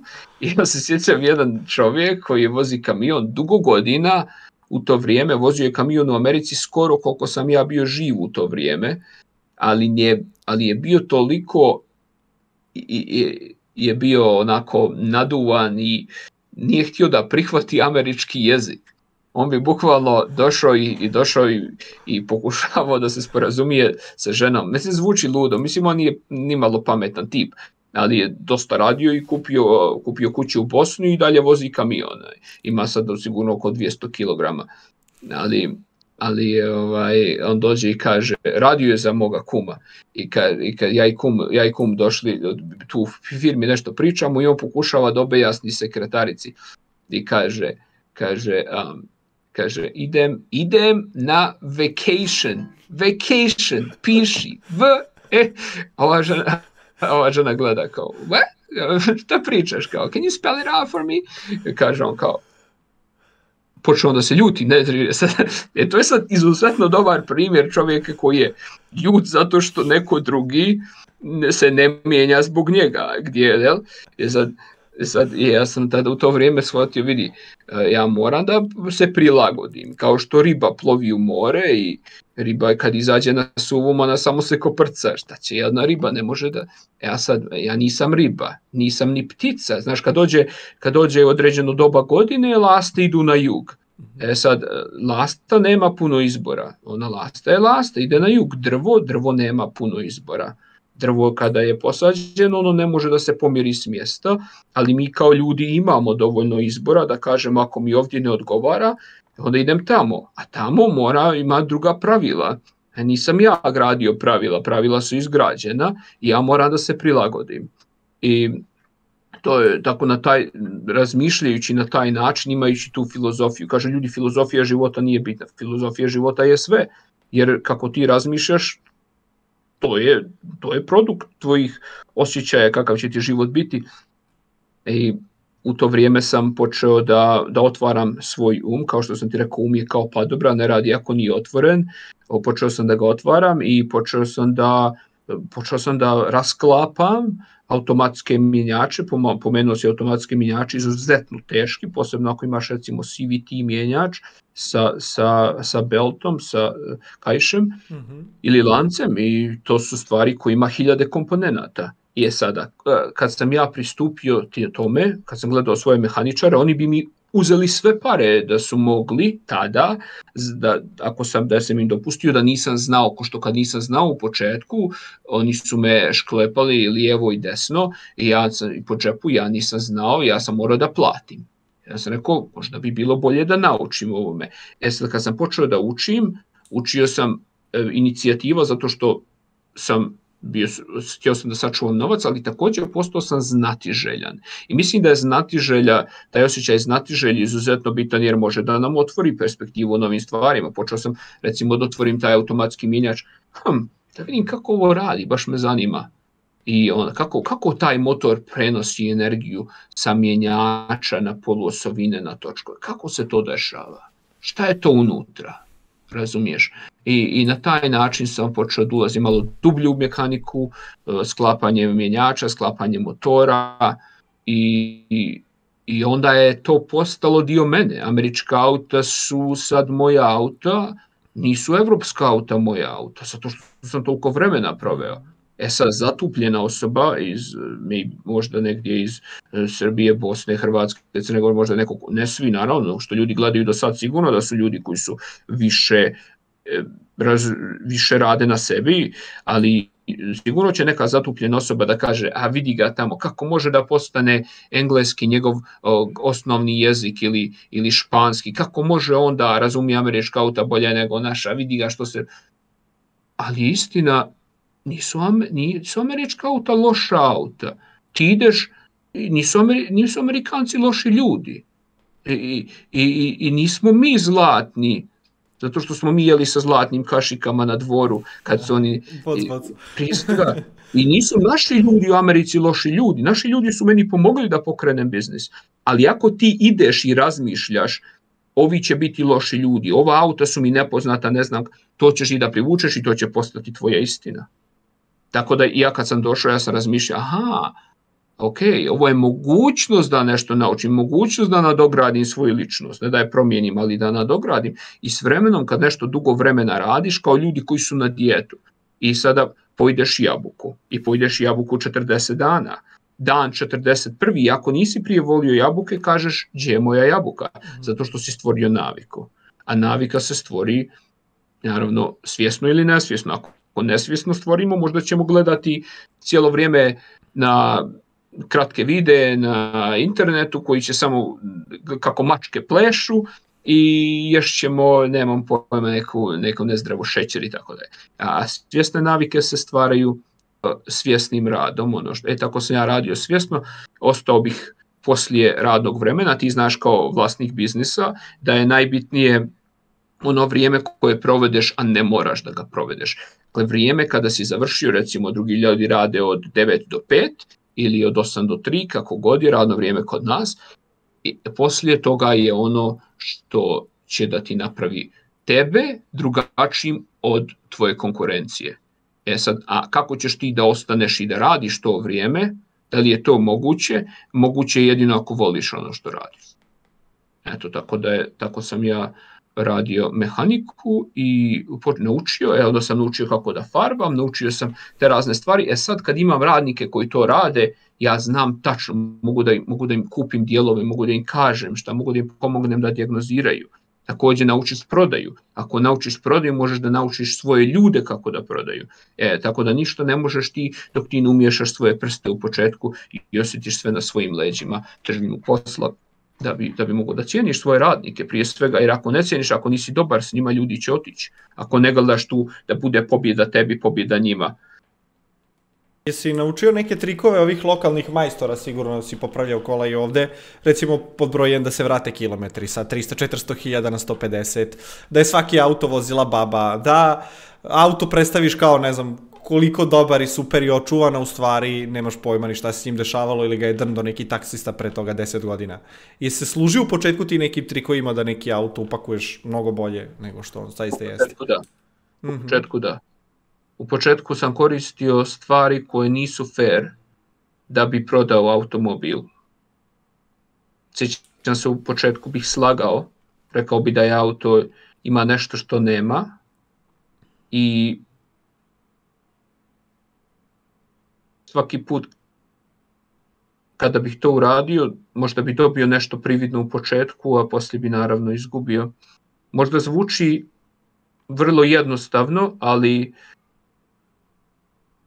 kaže Jordan Peterson u svojoj knjizi 12, 10 12 pravila u životu, kaže nemoj nikada da lažeš ili ili u najmanju kaže uvijek reci istinu ili u najmanju ruku nemoj da lažeš. I zato što ja sam vidio šta se dešava tada davno, kada bih rekao stvar koja nije istina nekome, u meni bi se javila kao druga ličnost, kao nešto ja bi sebe lagao, jer ja da, bi, da ja lažem tebe, ja prvo sebe mora da slažem. A kad bi sebe slagao, ja slažem svoj integritet i podvaja se ličnost u meni. Ja više nisam miran. A jedna od osnovnih stvari koju znamo danas u psihologiji da radimo ono što nam donosi mir. I prije nekih možda sedam godina, pet zasigurno, odlučio sam da ne kažem laž šta god da se desi. Ako mi neko upere pištolj u glavu i da mi kaže sad ću da te ubijem, ja sam rekao sebi neću da lažem. I, i niti da manipulišem u smislu nečega što meni donosi korist, a ne drugome. Zato što na to će vrlo kratkog perioda da bude veza prije svega i osjećat će se kao sranje poslije toga. I ne samo da mi se promijenio biznis u smislu da toliko ljudi što danas dolaze, ako ukucaš the best used car sales, vidjet ćeš da imamo najbolju reputaciju u cijeloj Kaliforniji, a Kalifornija je veća nego cijeli Balkan. Zbog psihologije vlasnika koji kaže neću da lažem. E da li sam uvijek bio takav? Ne. E to je razlog zašto sam mako neke od starih videa. Zato što postoje manipulacije koje nisu fair. I u tom momentu kada sam promijenio, promijenio sebe, kao što sam rekao, ne samo da se biznis poboljšao i da sad da ljudi ostavljaju dobre komentare, kao što vidiš i dugi niz godina isti mi se ljudi pojavljuju, nego se ja osjećam mnogo bolje. I mislim da mi to donosi veliki mir. E, a to je nešto što ne možemo da stavimo cijenu na to. Ne možeš da nalijepiš cijenu na osjećaj mira. I mislim da je to pravi put ako čovjek može od početka da gradi biznis i da od početka bude fair i da od početka ne uzima ni od koga. Mislim da, mislim da je um, da će nagrada mnogo veća da bude. Jesi bio nekad u bezlaznoj situaciji i ono samo si razmišljao šta mi je ovo trebalo u životu, kud sam se u ovo valio, hoću da pobegnem, da se vratim nazad, da batalim sve, ništa me više ne nazad, zanima. misliš nazad u, um, u, u, na Balkan. Tako je. u, uvijek postoje misli koje e, sumnje, ja mislim, da, da će i, u početku više nego sada, naravno, sada mi se te više, više ne pojavljuju, međutim, u početku sam sumnjao u to što sam radio nisam bio siguran da ću da uspijem. I razmišljao sam, a ako se to desi možda ću morat da odem da se vratim nazad, to je tačno. E, takođe, te misli nisu bile ni blizu jačine kao što su misli uspjeha i ostajanja šta god se desi. E, tako da, to je razlika. Jel bio neki pad u poslu, nešto da se desilo, da te vratilo, kažem, godinu nazad, dve godine, neka greška, jer svaki biznis ima, ima svoje uspone i padove, ljudi kada misle o biznisu i zaradi, ne znam, poslu, oni zamišljaju onako ona linija koja samo raste, raste, skače, ide u nebesa, mm. ide do beskonačno, međutim, prava situacija je takva da ti je biznis danas dole, sutra dole, svaki dan je priča za sebe i jedan mali događaj možda ono preokrene celu situaciju na glavačke. A ovo je upravo 100%. Vidi, kao što sada ti odeš recimo na dijetu i kažeš ja ću sada da dobijem određenu mišićnu masu i skinem toliko sala i, ideš svaki dan i jedeš pravilno i onda jedan dan odeš u najdeš se masti, šećera, šta god, palačinke, kolača E, šta sada to znači? To znači da je ta linija što si malo prije rekao je, sada si ti malo si posegao, i, i, ali ako si dva mjeseca već radio pravu stvar, ti znaš kako da se vratiš. Ne znači da si pao za uvijek, nego možeš da se vratiš. Ako tako gledaš, dosta ljudi sebe utuku i kažu, ja vidiš, zna, znao sam da neću moći. Zato što to a, kada oni kažu nisam dovoljno dobar, neću moći, to je ono što je u skladu sa njihovom, njihovim vjerovanjem o samom sebi. Tako. E sad, e sad, a ako kažeš vratit ću se na... E sad, meni što se desilo je to da sam veliki jedan kamion za vuču koji je bio vrijedan oko 100.000, imao je prikolicu tvoju, on se zapalio i ja nisam imao osiguranje jedinu lekciju što sam mogao tada da naučim je da osiguram svoje vozilo. Nisam imao osiguranje i ja sam uh, morao da podnesem tu veliku štetu, znači preko 100.000 i plus licencu sam tada izgubio za prevoz automobila. A sve je bilo zbog jedne greške od mehaničara koji je radio za mene nije stavio osigurač, tako da je, tako da je ta, ta struja koja je pokretala jedan uređaj pozadi na kamionetu je uh, sa, izgorela i uhvatila, i uhvatila se plastika, uhvatila dizel i ona je sve počela ogromna vatra i sve izgorelo. I naravno drugu stvar što sam naučio je da uvijek imam po, um, aparat za gašenje požara sa sobom ali to je sve što sam mogao da naučim. Izgubio sam dosta i dosta sam i dosta mi se biznis vratio u jedan nazad, možda nekih šest mjeseci unazad, osjećao sam se loše. Ali, da kažemo, dvije stvari možemo da nosimo iz prošlosti. Jedna je lekcija, možemo da naučimo lekciju ili loš osjećaj. Ako naučimo lekciju, šta se desilo i šta možemo da naučimo iz toga, to je moj mozak ide tu automatski, onda, onda loš osjećaj otpadne sam po sebi. Mm, tako da je, naučio sam što sam mogao da naučim i nastavio sam dalje. Vjerujući, moja velika stvar uvijek vjerujem, ja lično vjerujem u Boga, vjerujem da, da će sve da bude dobro dokle god ja radim dobro, kako god bude, da će biti ok, da će biti ok i tako mislim da mislim da u biznisu moramo imati dosta vjere, jer je dosta nesigurnosti, pa i u svemu i u vezama sa ljudima, u vezama sa voljenom osobom, sa sobstvenom djecom. Mislim da moramo da imamo vjeru da radimo pravu stvar i da vidimo svoj konačni cilj i mislim da je to me izvuklo a to iz tog perioda koji je prilično bio težak jer dosta drugih stvari se desilo. Znaš sam vojo kada recimo imaš jedan dan koji ti se dešava ti se sve ti se loše dešava i ti misliš ne može ništa gore da se desi.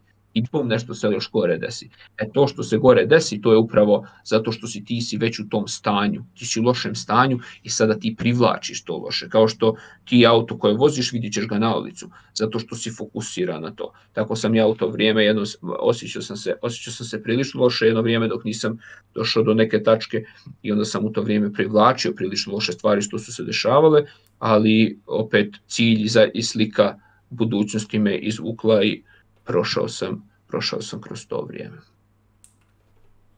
Savo, tema je milion, a vremena bojim se da više nemamo, evo već tri sata razgovaramo. E, ja sam siguran da je ovo samo početak i da je ovo jedan od mnogo puta koliko ćemo mi razgovarati, tako da pre svega želim da se zahvalim što si podelio ovu svoju priču sa, sa mojom publikom i sa mnom i ja sam siguran da će ljudi sigurno moći dosta da izvuku iz ovoga i da će im ovo makar malo poboljšati njihov život ili možda im dati možda smernice neke u kom smeru da se kreću i kako da postupaju. Tako da ti se puno zahvaljujem na odvojenom vremenu i na, i na svemu ovome što si podelio danas sa nama. I, i još jednu stvar bih rekao, nema na čemu. I još jednu stvar bih rekao, moje zadovoljstvo stvarno i ako hoće neko od tvoje publike da ostavi komentar, pitanje za sledeći, mm -hmm. za sledeći video na tvome kanalu, može to da uradi da naravno da podrži i podijeli tvoj video i ako hoće da se prijavi na moj kanal Savo mhm. Kosić ostavit ćemo linkove da, sve u opisu to može da nađe još videa ako je ovo nešto što njima odgovara i što bi o čemu bi voljeli više da nauče. Hvala tebi puno i vidjet ćemo se ako Bog da sledeći put. Do sledećeg puta, Savo, pozdravi, sve najbolje u poslu i u životu. Hvala i vama što ste gledali, do sledećeg puta, ćao!